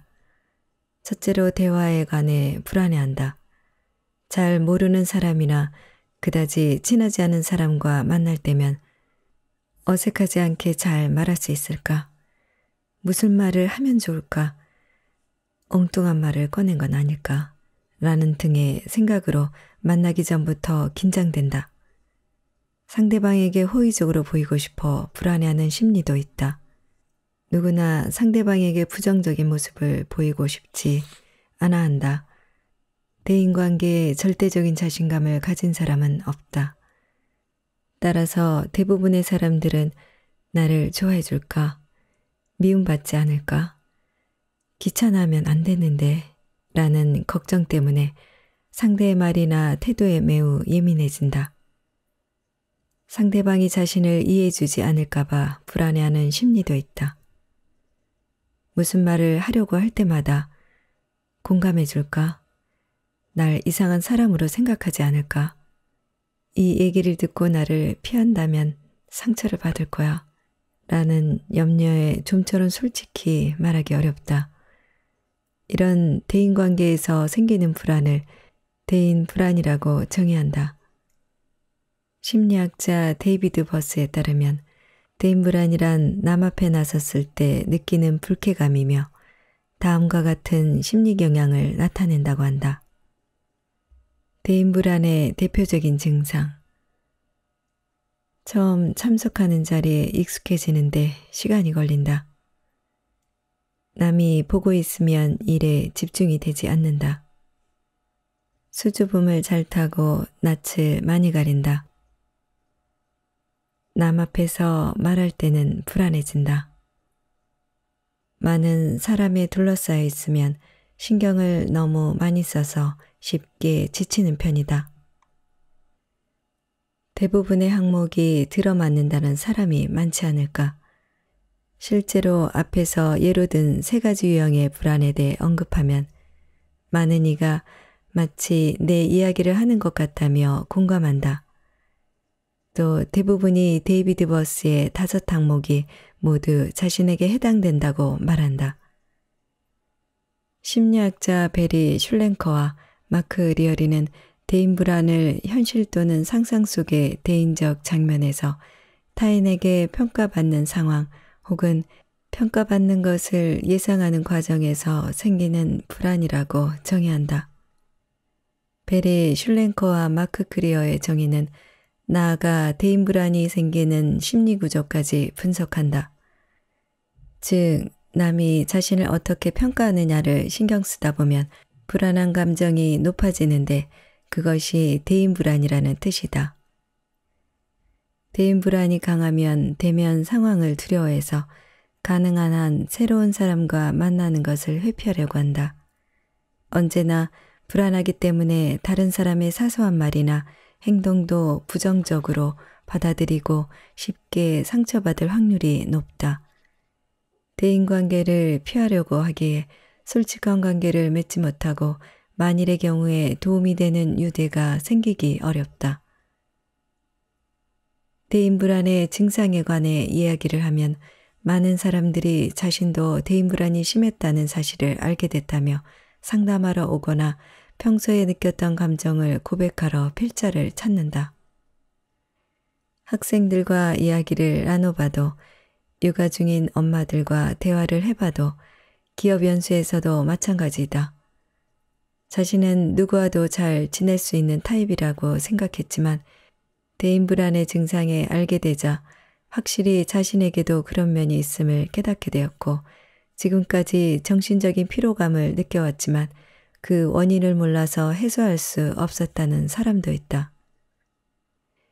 이렇듯 많은 사람들이 대인 불안을 느낀다. 앞에서도 살펴봤듯이 다른 사람들에게 미움받고 싶지 않다는 마음이 강한 사람이 매우 많다. 이런 말을 하면 나를 나쁘게 생각하지 않을까 라는 생각이 너무 강한 탓에 하고 싶은 말도 쉽게 꺼내지 못하고 싫은 것도 싫다고 거절하지 못한다. 다른 사람에게 미움받을지 모른다는 불안, 이른바 버림받고 싶지 않다는 불안이 대인 불안의 대표적인 원인인 것이다. 대인 불안의 대표 증상. 누군가가 말을 걸면 어쩌지 하는 걱정 때문에 새로운 환경에서는 늘 긴장한다. 학생 때 진학하거나 반이 바뀔 때마다 잘 지낼 수 있을까 불안이 심했으며 취직 후에도 새로운 대인 관계에서 잘 해낼 수 있을지 불안하다. 거절당하는 것이 두려워서 친구에게 무언가를 권유하는 게 어렵다. 그룹이 생기면 그 속에서만 어울리게 된다. 상대방이 어떻게 생각할지 신경 쓰여서 자신을 쉽게 드러내지 못한다. 상대방이 자신에게 호의를 느낄지 미움받지는 않을지 문득 걱정된다. 상대방이 나를 좋아했으면 하는 마음이 강해서 취향을 억지로 맞추거나 재미없게 느끼지 않도록 떠든다. 상대방의 반응이 별로면 내 이야기는 재미없다는 생각에 주눅이 든다. 자신의 의견을 솔직히 말하면 따돌림을 당하지 않을까 하는 생각에 무슨 말을 해야 할지 고민할 때가 있다. 하고 싶은 말을 하지 못해 스트레스가 쌓일 때가 있다.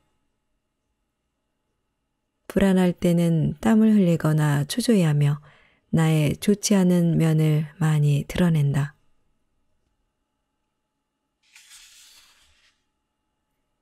친구와 웃고 떠들 때도 마음이 불편한 이유. 어떤 자리에 있든 항상 신경이 곤두서 있기 때문에 친구와 함께 있어도 피곤함을 느낀다. 처음 만나는 상대와 만나는 자리가 어려운 것은 이해하지만 친구와 말해도 지쳐버리는 것은 좀 이상하지 않은가. 다음과 같이 털어놓으며 상담하러 오는 학생도 있다. 친구와 있으면 보통은 즐겁잖아요. 그런데 저는 즐겁다기보다 피곤해요. 제가 한 말이나 태도로 친구가 불쾌하지 않을까 일일이 생각하는 탓에 지칩니다. 그래서 집에 돌아오면 한동안은 움직이지 못하고 쉬어야 해요. 왜 나는 친구와 말하는데도 이렇게나 기력을 소모할까? 이렇게 상대를 배려하는데 왜 친한 친구가 생기지 않을까? 역시 난 어딘가 이상한 게 아닐까? 최근에 이런 생각이 심해지는 데다가 친구와 어울리는 것도 더 어색해져서 어떻게 하면 좋을지 모르겠어요. 남의 눈치를 보는 자신이 싫어진 나머지 자신감이 점점 더 사라져서 어떻게든 자신을 바꾸고 싶다는 사람도 있다. 하지만 앞에서 살펴봤듯 상대방의 반응에 일희일비하거나 상대방의 속마음이 알고 싶어 마음이 불편한 상황은 많든 적든 누구나 경험하는 일이며 특별히 이상한 일은 아니다. 외향적이고 다른 사람과의 교제를 즐기는 사람이라도 상대방의 반응은 신경 쓰이기 마련이다. 친구가 상처 입지 않도록 적절한 말을 고른다. 친구와 대화하다가 기분이 상한 것 같다고 느껴지면 만회할 만한 좋은 말을 덧붙인다. 친구가 재미없어 보이면 화제를 바꾼다. 침묵이 지속되면 거북해져서 다른 주제의 말을 꺼내 분위기를 부드럽게 만든다. 이 모든 노력은 남과 어울리는 데 필요한 배려이며 결코 문제되는 감정이 아니다. 다만 그 정도가 심해서 다른 사람과 만나는 것 자체를 꺼리게 되는 상황은 본인을 위해 피하는 게 좋다. 상황에 꼭 맞는 말을 고르다가 결국 무슨 말을 해야 할지 알 수 없게 되거나 신경을 소모한 탓에 대인관계 자체가 두려워지는 상황을 방지하려면 대인불안이란 무엇인지 정의를 정확히 알고 대인불안을 어떻게 하면 줄일 수 있는지를 아는 것이 중요하다. 타인의 시선에 비치는 나보다 상대 자체에 관심을 둔다.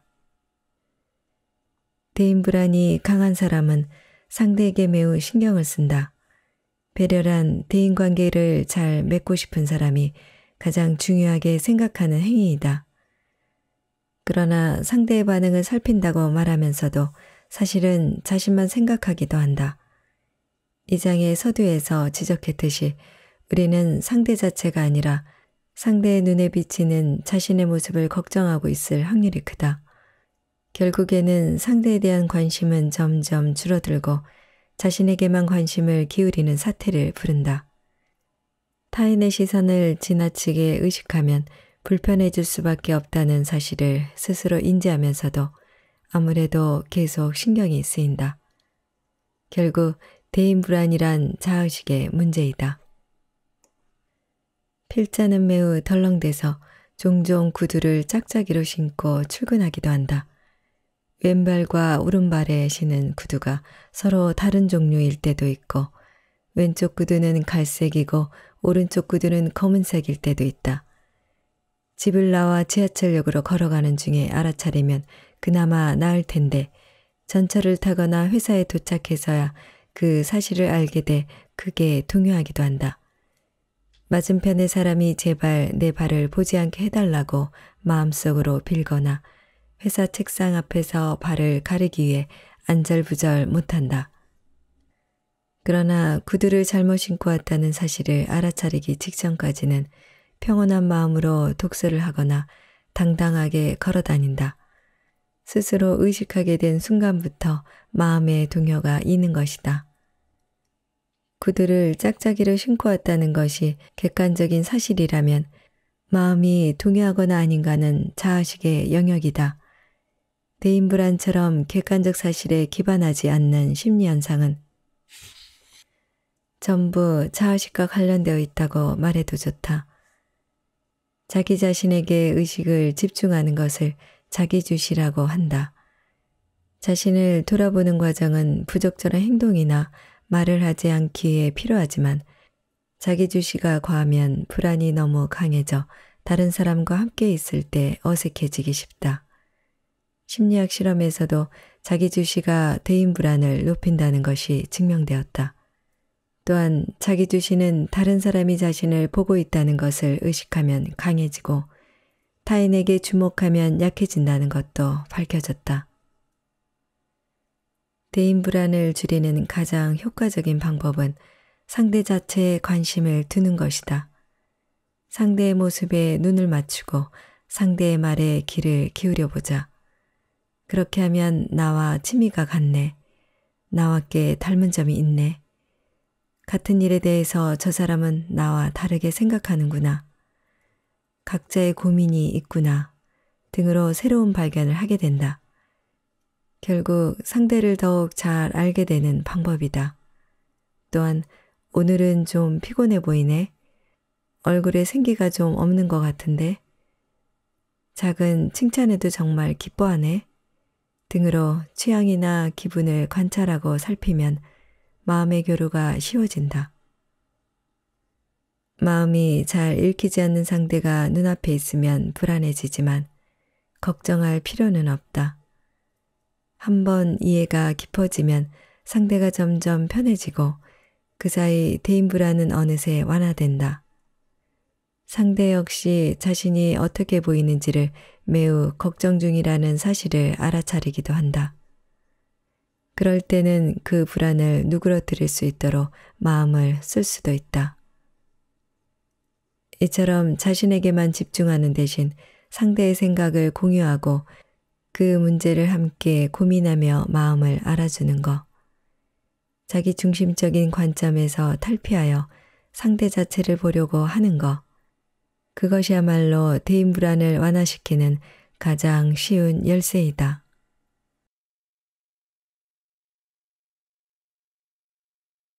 오늘 소개할 책은 내가 내 편이 아닌데 누가 내 편이 되어줄까? 나를 용서하지 못하는 나에게입니다.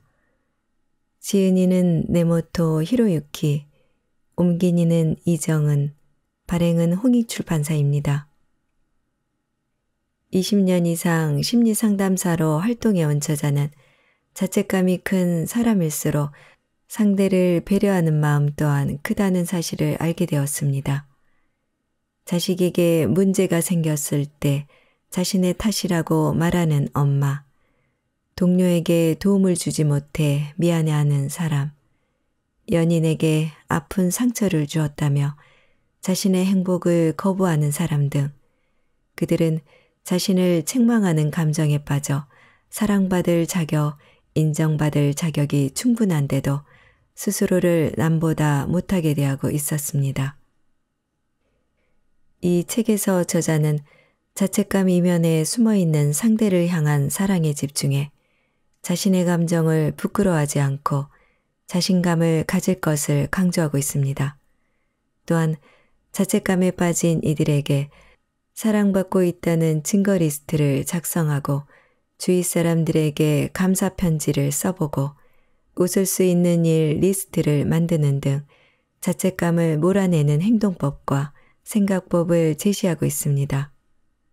그리고 지금 그대로 행복해도 된다라는 저자의 따뜻한 메시지를 전하고 있는데요. 자, 그럼 책 속으로 잠시 들어가 보도록 하겠습니다. 나는 왜 나 자신을 용서하지 못할까? 다음과 같은 문제들에 공감하는지 체크해 보기 바랍니다. 무슨 일이든 자기 탓이라고 생각하면서 스스로에게 나는 안 돼 라고 말하는 버릇이 있다.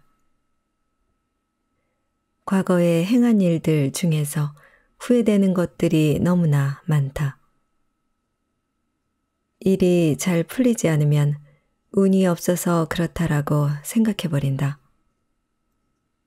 그게 아니라면 잘 풀리지 않는 일에 항상 남 탓을 한다. 일이든 연애든 무리에서 지나치게 매달리는 경향이 있다.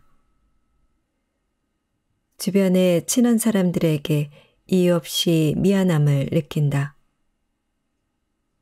소중한 사람들에게 상처를 줄 것 같아 두려움을 느낀다. 막연히 나는 행복해져서는 안 된다라고 생각할 때가 많다. 남을 도와주지 못한 일에 대한 아픈 기억이 있다. 무슨 일이 생기면 나 자신을 먼저 탓하는 버릇이 있다. 타인의 기대에 과도하게 맞추려는 경향이 있다.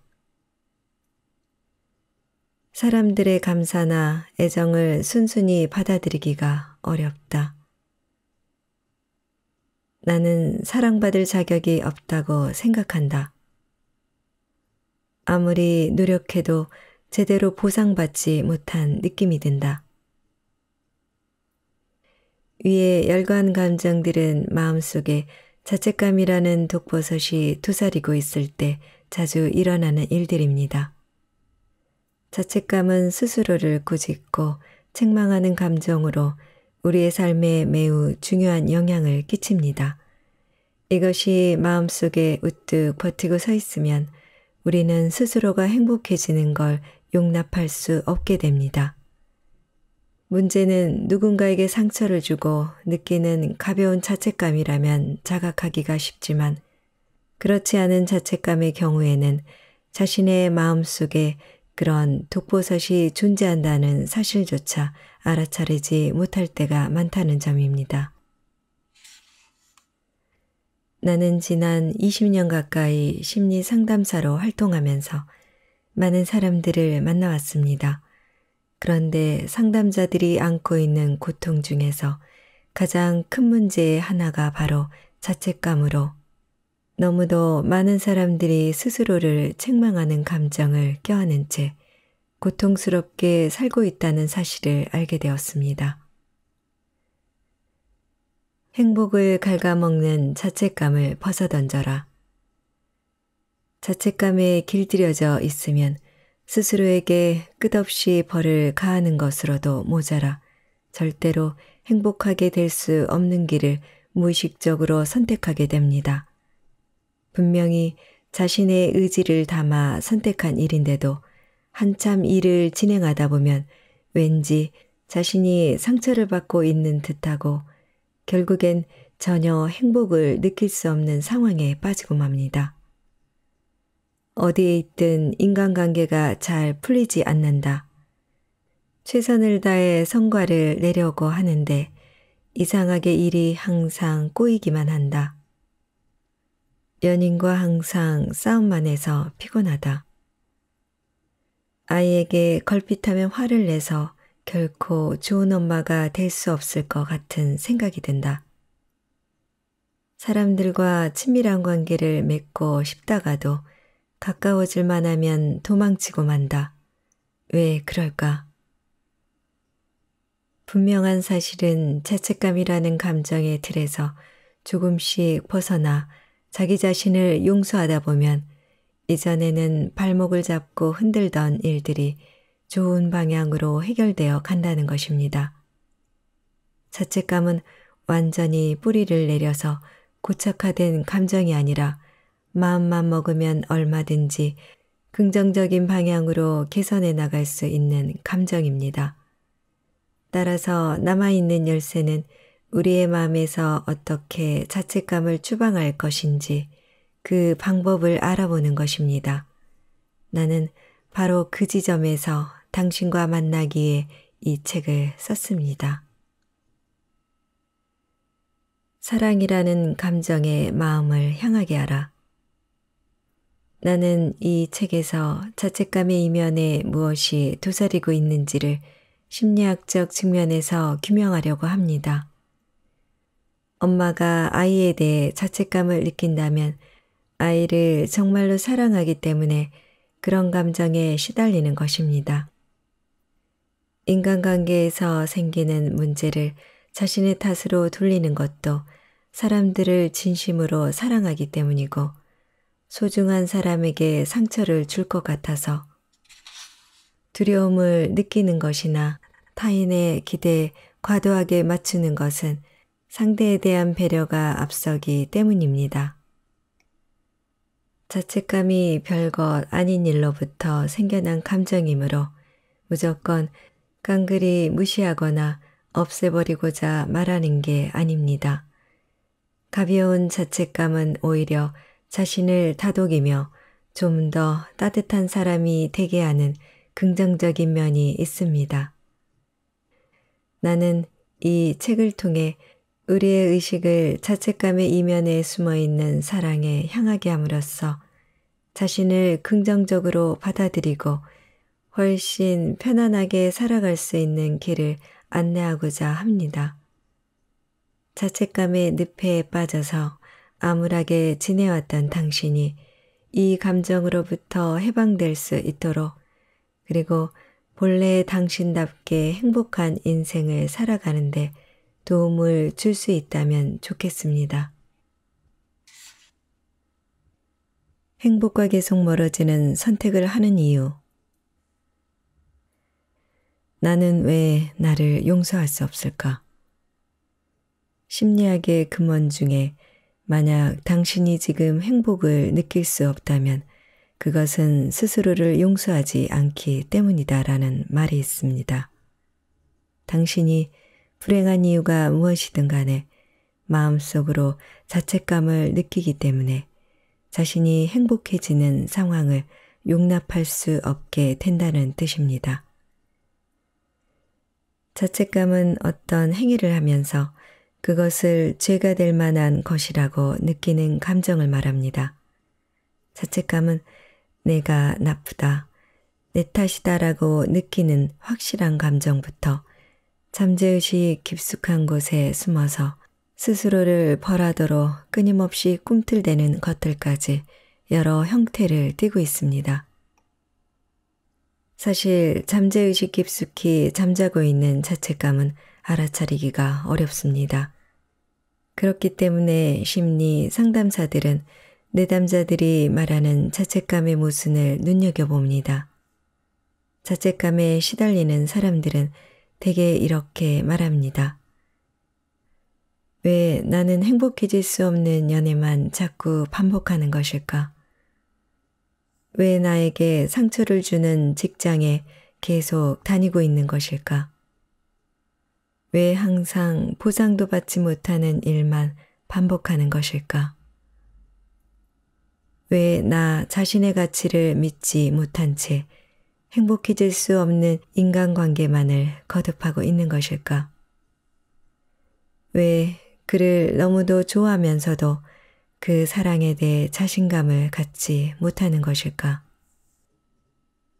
나는 내담자들의 말을 들으며 이렇게 공고하곤 합니다. 혹시라도 그런 감정 안에 자책감이 숨어 있지는 않는지 찾아보기 바랍니다. 이 말의 의미는 살면서 행하는 모든 일에 내 탓이라는 굴레를 씌우고 있는 건 아닌지 돌아보라는 뜻입니다.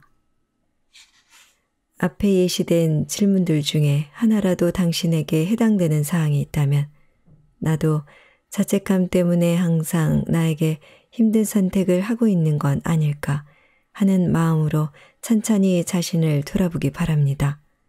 이 책은 바로 그런 당신을 위해 치유의 방법을 안내하고자 만들어졌으니 말입니다. 행복을 느낄 수 없는 마음 뒤편에는 자책감이 숨어 있어 스스로를 용서하기 힘든 상황으로 만드는 건지 모른다. 그러니 부정적인 감정에 휩싸인다면 내게 자책감이 있을지 모른다라는 관점으로 자신을 바라보자. 잠재의식 깊은 곳에 숨어 있는 자책감. 잠재의식 속에는 슬픔, 피곤, 죄책감, 분노, 외로움 등 온갖 부정적인 감정이 숨어 있다. 이러한 부정적인 감정이 현재의 감정으로 이어지게 되면 나는 진짜 슬프고 피곤하고 우울하고 외로운 사람이 되어버린다. 자책감이 있기에 행복감도 느낄 수 있다. 인생이라는 드라마에서 빠져서는 안 되는 감정. 규칙이나 규제가 게임을 재미있게 만드는 요건이라는 점에서부터 의식을 넓혀서 나는 지금 인생이라는 게임을 하고 있는 프로게이머라고 생각해 보기 바랍니다. 인생 자체가 너무 단순하고 무료해진다면 도리어 성취감을 느낄 만한 일들이 사라져 인생 자체가 재미없어집니다. 그렇게 생각해보면 인생이라는 긴 게임에서 규칙이나 제한으로 존재하는 요소가 바로 자책감인 셈입니다. 결국 자책감이라는 감정은 우리를 괴롭히고 계속 고민에 빠지게 만들지만 한편으로는 인생이라는 게임을 보다 드라마틱하게 만드는 하나의 주권이라고 할 수도 있습니다. 자책감을 질병에 빗대어 말하자면 일종의 지병 같은 것이라고 할 수 있습니다. 지병이란 오래도록 낫지 않아 고치기 힘든 병으로 고혈압이나 당뇨병 같은 것을 말합니다. 이 만성질환들은 한번 발병하면 고치기 힘들지만 증상에 대해 잘 숙지하고 의사의 처방에 충실히 따르기만 하면 평생을 함께 하면서도 건강하게 지낼 수 있습니다. 이와 마찬가지로 자책감 때문에 행복해질 수 없다고 생각하지 말고 오히려 자책감의 존재를 받아들면서 그곳에서부터 삶의 행복을 느낄 수 있는 법을 찾아내기 바랍니다. 자책감을 보다 재미있게 살기 위한 하나의 규칙이라 생각하고 그것을 없애려고 노력하기보다는 멋지게 어울려 지내는 법을 배우는 편이 좋다.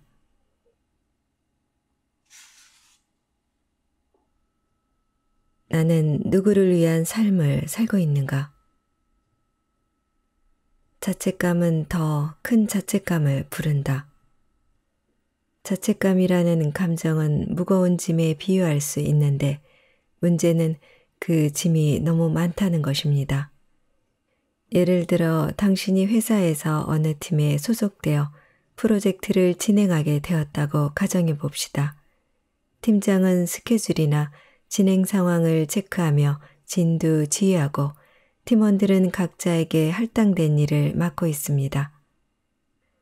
물론 당신에게도 배당된 업무가 있지만 팀의 막내이기 때문에 누구보다 더 적극적으로 참여하지 않으면 안 될 것 같은 마음이 듭니다.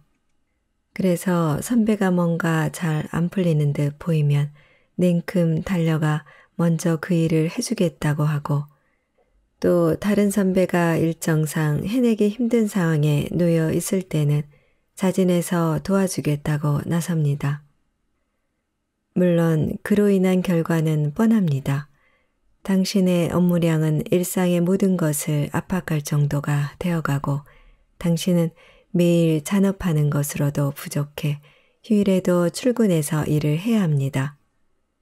그런 상황에서도 눈치 없는 선배가 도움을 청하면 하던 일을 팽개치고 달려들어 그가 만족할 때까지 일을 합니다. 그러자니 누적된 피로는 당연히 회복되지 않고 업무 스트레스는 점점 쌓여가는데도 자신의 능력이 부족한 탓이라 여기면서 스스로를 더욱 몰아붙여 갑니다. 과연 누구를 위한 직장 생활입니까? 또 하나의 예를 들겠습니다. 당신은 아내와 두 명의 아이가 있는 한 가정의 가장입니다. 당신은 무척 열심히 일하는 타입으로 가족에게 안정감을 줌과 동시에 육아로 지친 아내에 대한 배려도 소홀히 하지 않고 있습니다. 업무로 인해 지쳐 있어도 아이가 아빠 공원에 놀러 가요 라고 말하면 몸은 쉬고 싶어도 그래 알았다라고 대답하며 아이를 자전거에 태우고 공원에 갑니다. 집에 돌아오면 아내가 조금이라도 편할 수 있도록 집안일을 도와줍니다. 그리고 아내가 아이의 숙제를 봐줘요 라고 말하면 알겠다며 즉시 아이 방으로 달려갑니다. 그런 당신의 행동은 주변에 매우 이상적인 아버지로 보이고 아내도 분명히 당신에게 감사해야 할 것입니다. 당신도 이런 일들을 당연하다고 여깁니다. 그래서 직장에서의 과중한 업무로 몸이 쉬라는 신호를 보내는데도 안타깝게도 그 소리를 자꾸 무시하며 휴식을 나중으로 밀어버립니다. 이유는 이를 인생의 우선순위 맨 앞에 두었기 때문입니다. 스스로 감당하기 어려운 짐을 떠안고 살아가는 것이기에 마음은 점점 비명을 질러댑니다. 그 소리는 분명히 당신의 귀에도 들릴 것입니다. 하지만 아직은 일의 삶을 더 투자해야 된다고 믿기에 생각을 바꿀 엄두를 내지 못합니다. 사실 그렇게 사는 것은 멋진 일입니다. 그러나 자신의 마음이나 몸의 소리를 무시하면서까지 많은 짐을 짊어지고 있다면 그것은 누구에게도 도움이 되지 않는 어리석은 일입니다. 만약 당신이 쓰러지기라도 하면 주위 사람들이 무슨 생각을 하겠습니까? 그들은 제때 당신의 직진 인생을 막아서지 않은 걸 후회하며 심한 자책감에 사로잡힐 것입니다. 당신이 자책감으로 많은 짐을 짊어지는 것은 결과적으로 주위 사람들에게도 똑같은 감정을 느끼게 만드는 일이 되는 것입니다. 그런 심리 상황을 보여주는 에피소드가 하나 있습니다. 당신이 나누는 것은 기쁨인가 자책감인가? 당신은 친구들을 집에 초대해서 파티를 열기로 하고 모두가 즐길 수 있도록 전날부터 맛있는 소고기 수트를 끓여 대접하기로 했습니다. 아주 많은 친구들이 모이기에 만들어야 하는 양도 엄청났습니다. 모두가 모여 수다를 떨고 있는 동안에도 당신은 그들의 떠드는 소리에 기뻐하면서 스프를 완성해 가고 있었습니다. 그리고 이제 다 됐다 라며 모두를 식탁에 불러 모은 뒤 멋진 접시에 차례대로 수트를 담아서 나누어 주었습니다. 그들은 정말 맛있다 최고야 라는 말을 연발하면서 몇 번이나 수트를 더 달라고 합니다. 당신은 사람들의 폭발적인 반응에 너무 기뻐하며 더 드세요 라고 말합니다. 그러자 사람들은 계속해서 더 달라고 접시를 내밉니다. 그때 당신의 뱃속에서 갑자기 꼬르륵 소리가 납니다. 그 소리를 들은 주위 사람들이 의아한 얼굴을 하면서 당신에게 너는 안 먹었어? 라고 물어옵니다. 당신의 대답은 이렇습니다. 아니, 모두가 맛있게 먹는 얼굴만 봐도 좋아서 챙겨 먹는 걸 잊고 있었어. 나는 대충 먹으면 되니 신경 쓰지 마. 하지만 당신의 말을 들은 모두의 표정은 점차 어두워집니다. 미안해. 내 생각을 하지 못하고 나는 세 접시나 먹었어. 이렇게 말하는 친구도 있습니다. 그래서 그런지 그 자리의 분위기는 왠지 점점 가라앉고 맙니다. 당신이 사랑받는 것이 먼저다. 당신이 모두를 위해 수트를 만들고 주위 사람들을 행복하게 해준 것까지는 좋았지만 자신의 공복감을 참으면서까지 한 행동에 오히려 사람들은 겸연쩍어 합니다. 당신은 아마도 단지 즐거움을 나누고 싶다고 생각했을 것입니다. 그렇지만 결과적으로 모두에게 자책감을 나눈 꼴이 되어버리고 말았습니다. 당신은 단순히 희생적인 마음으로 나는 괜찮으니 모두가 행복해지길 바란다 라고 생각했지만 그들은 당신도 같이 행복해지자라고 생각했던 것입니다. 당신은 다른 사람들이 보내는 사랑을 받아들이지 못했습니다. 자책감으로부터 해방되기 위해서는 받는 행위가 열쇠가 됩니다. 모두가 보내는 애정어린 감사를 적극적으로 받아들이라는 것입니다. 그 사랑을 받게 되면 당신은 지금보다도 더욱 편하게 당신다운 능력을 발휘할 수 있게 됩니다. 수트를 당신의 접시에 넘칠 듯이 담아서 와 정말 맛있다. 진짜 맛있는데 나 요리 천재인가 봐. 얼른들 먹어. 라며 스스로 기뻐하고 즐거워야 합니다. 그것이 진정으로 행복을 나누는 행위입니다. 다시 말해서 남에게 나눠주는 즐거움에 그치지 말고 그러한 행위에 당신 자신도 항상 포함시켜야 한다는 얘기입니다. 그러지 않은 나눔은 단지 가식에 지나지 않을지도 모릅니다.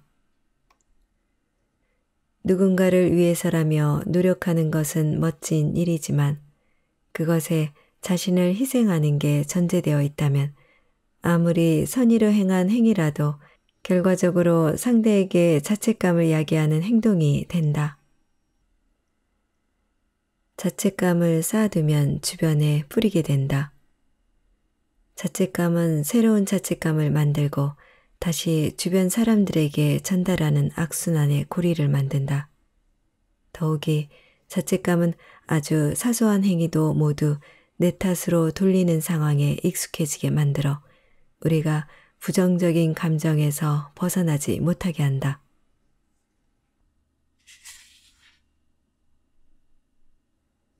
자기 중심으로 살아간다는 것. 문제 해결을 남에게 맡기지 않는다. 자기 중심과 타인 중심에 대해 좀 더 구체적으로 살펴보겠습니다. 타인 중심으로 살면 문제가 생겨도 나는 나쁘지 않다. 상대방이 더 나쁘다라는 식으로 해석하게 돼 문제 해결을 상대방에게 떠맡기게 되는 것과 다름없습니다. 상대방이 어쩌다 그 문제를 해결해주면 좋겠지만 그렇지 않을 경우 당신은 계속 연락을 기다리다가 데이트에서 바람을 맞는 것과 같은 상황을 겪게 될 것입니다.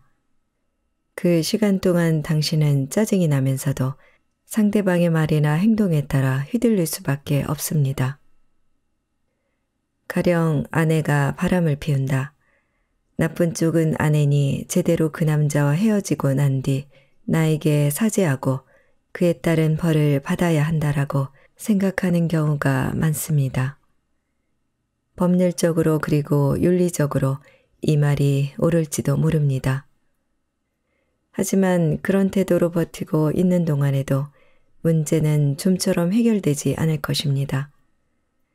아내가 반성하고 그 남자와 헤어지고 당신에게 돌아온들 또 다시 배신하지 않을까 하는 불안 때문에 아내를 감시하고 속박하는 일에 막대한 에너지를 쓰고 말 것입니다. 그렇다면 정말로 문제를 해결했다고 할 수 있겠습니까? 자기 중심으로 살아가면 다릅니다. 문제를 조금 더 주체적으로 받아들이면서 자신을 돌아볼 수 있게 됩니다. 내가 아내에게 너무 소홀했던 것은 아닐까? 아내의 사랑을 너무 당연하다고 여긴 것은 아닐까? 내가 아내에게 너무 의존적이었던 걸까? 내가 아내를 너무 무시해서 화가 났던 것은 아니었을까? 이런 식으로 생각하면 문제를 주체적으로 마주할 수 있게 됩니다. 다시 한번 말하지만 일방적으로 아내를 비난하고 책임을 묻는 것으로는 절대 문제를 해결할 수 없습니다. 실제로 나는 이런 상담자를 만나면 아내가 바람을 피우지 않으면 안 될 사정에 대해 먼저 생각해 보라고 말합니다. 이것은 불화를 야기한 원인은 50대 50으로 대등하게 바라보라고 제안하는 것입니다. 분명히 불륜을 저지른 아내에게 문제가 있지만 남편도 자기에게 무슨 문제가 있어 지금의 상황을 낳았는지 생각해 보라는 뜻입니다. 이것이 바로 자기 중심적 사고법입니다. 몇 가지 방법을 더 소개하겠습니다. 1. 나는 나, 남은 남이라고 명확한 선을 긋는다. 나는 나, 너는 너라는 식으로 자기 중심적인 생각을 확립하기 위해 필요한 대상, 부모, 연인, 직장 상사 등을 넣어서 그 말을 몇 번씩 입으로 뱉으며 선언합니다. 나는 나, 아들은 아들. 나는 나, 부모님은 부모님. 나는 나, 사장님은 사장님. 이 나라는 주어를 분명하게 인식한다. 타인 중심이 되었을 때는 주어가 타인이 됩니다. 여기서 나는 또는 내가라는 주어를 의식하면서 대화를 하거나 생각하는 것이 중요합니다. 나는 초콜릿이 먹고 싶다. 나는 슬프다. 나는 지금부터 쇼핑을 하러 간다 등 평소에 의식하지 않던 주어로서의 나 자신을 분명하게 짚어보면 자기 중심을 구축하기가 한결 쉬워집니다. 3. 지금 할 수 있는 일을 한다. 지금 당장 할 수 있는 일을 무엇이든 찾아내 행동에 돌입하기 바랍니다. 엄청난 일이 아니어도 좋습니다.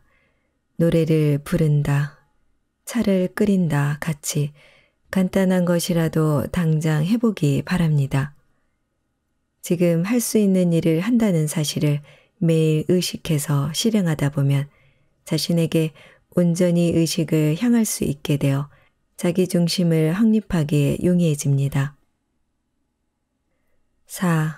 나를 자주 칭찬한다.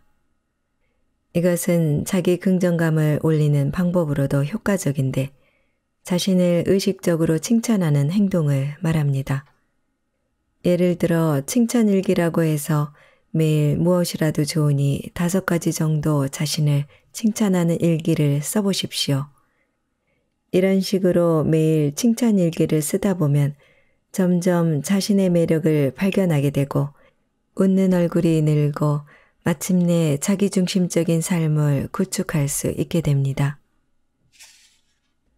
5.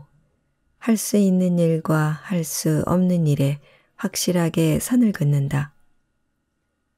내가 이것을 할 수 있을까? 하고 자신에게 질문을 던지는 경우가 있습니다. 타인 중심이 되었을 때는 상대방이 의식의 중심에 있기 때문에 그 사람의 일까지 짊어져서 해내려고 합니다.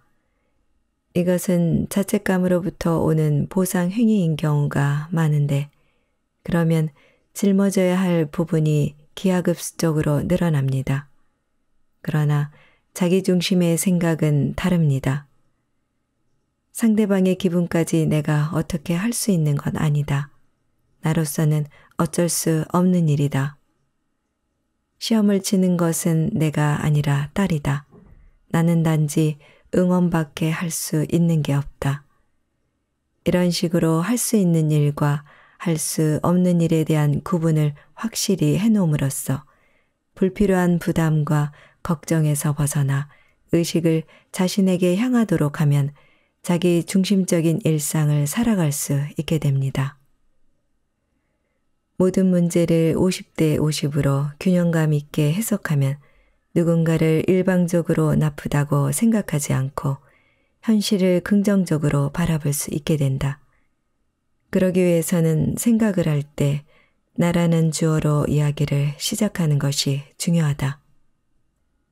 내 탓을 하는 것과 자기 중심의 삶은 다르다. 나는 나, 너는 너라는 생각을 중심에 두고 내가 할 수 있는 일들을 우선적으로 해결해 나가는 태도가 필요하다. 마음 놓고 웃을 수 있는 일을 하라. 웃는 얼굴이 자책감의 늪으로부터 당신을 구한다.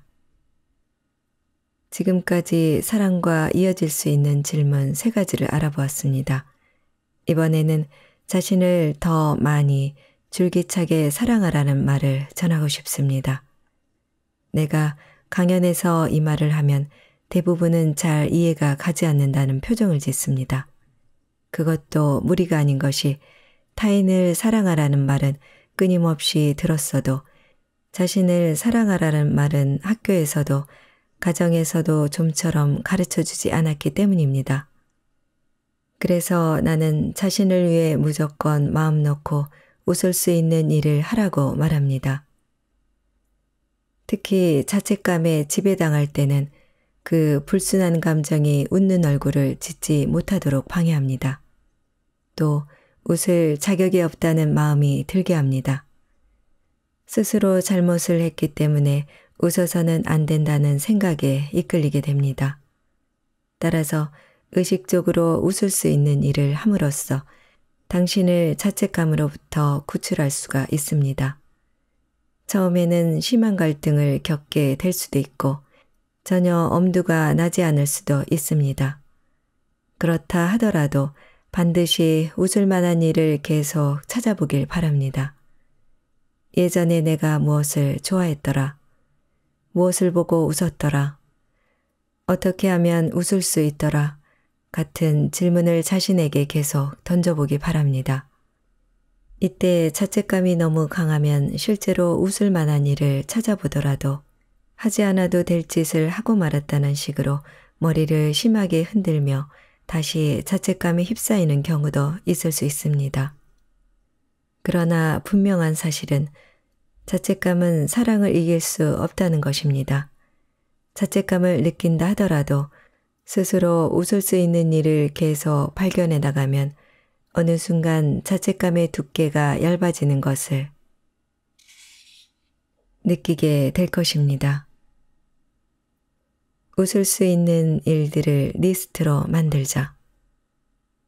마음 놓고 웃을 수 있는 일에 해당되는 일은 다음과 같이 아주 작은 행위라도 상관이 없습니다.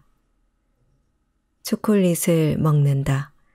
만화책을 읽는다.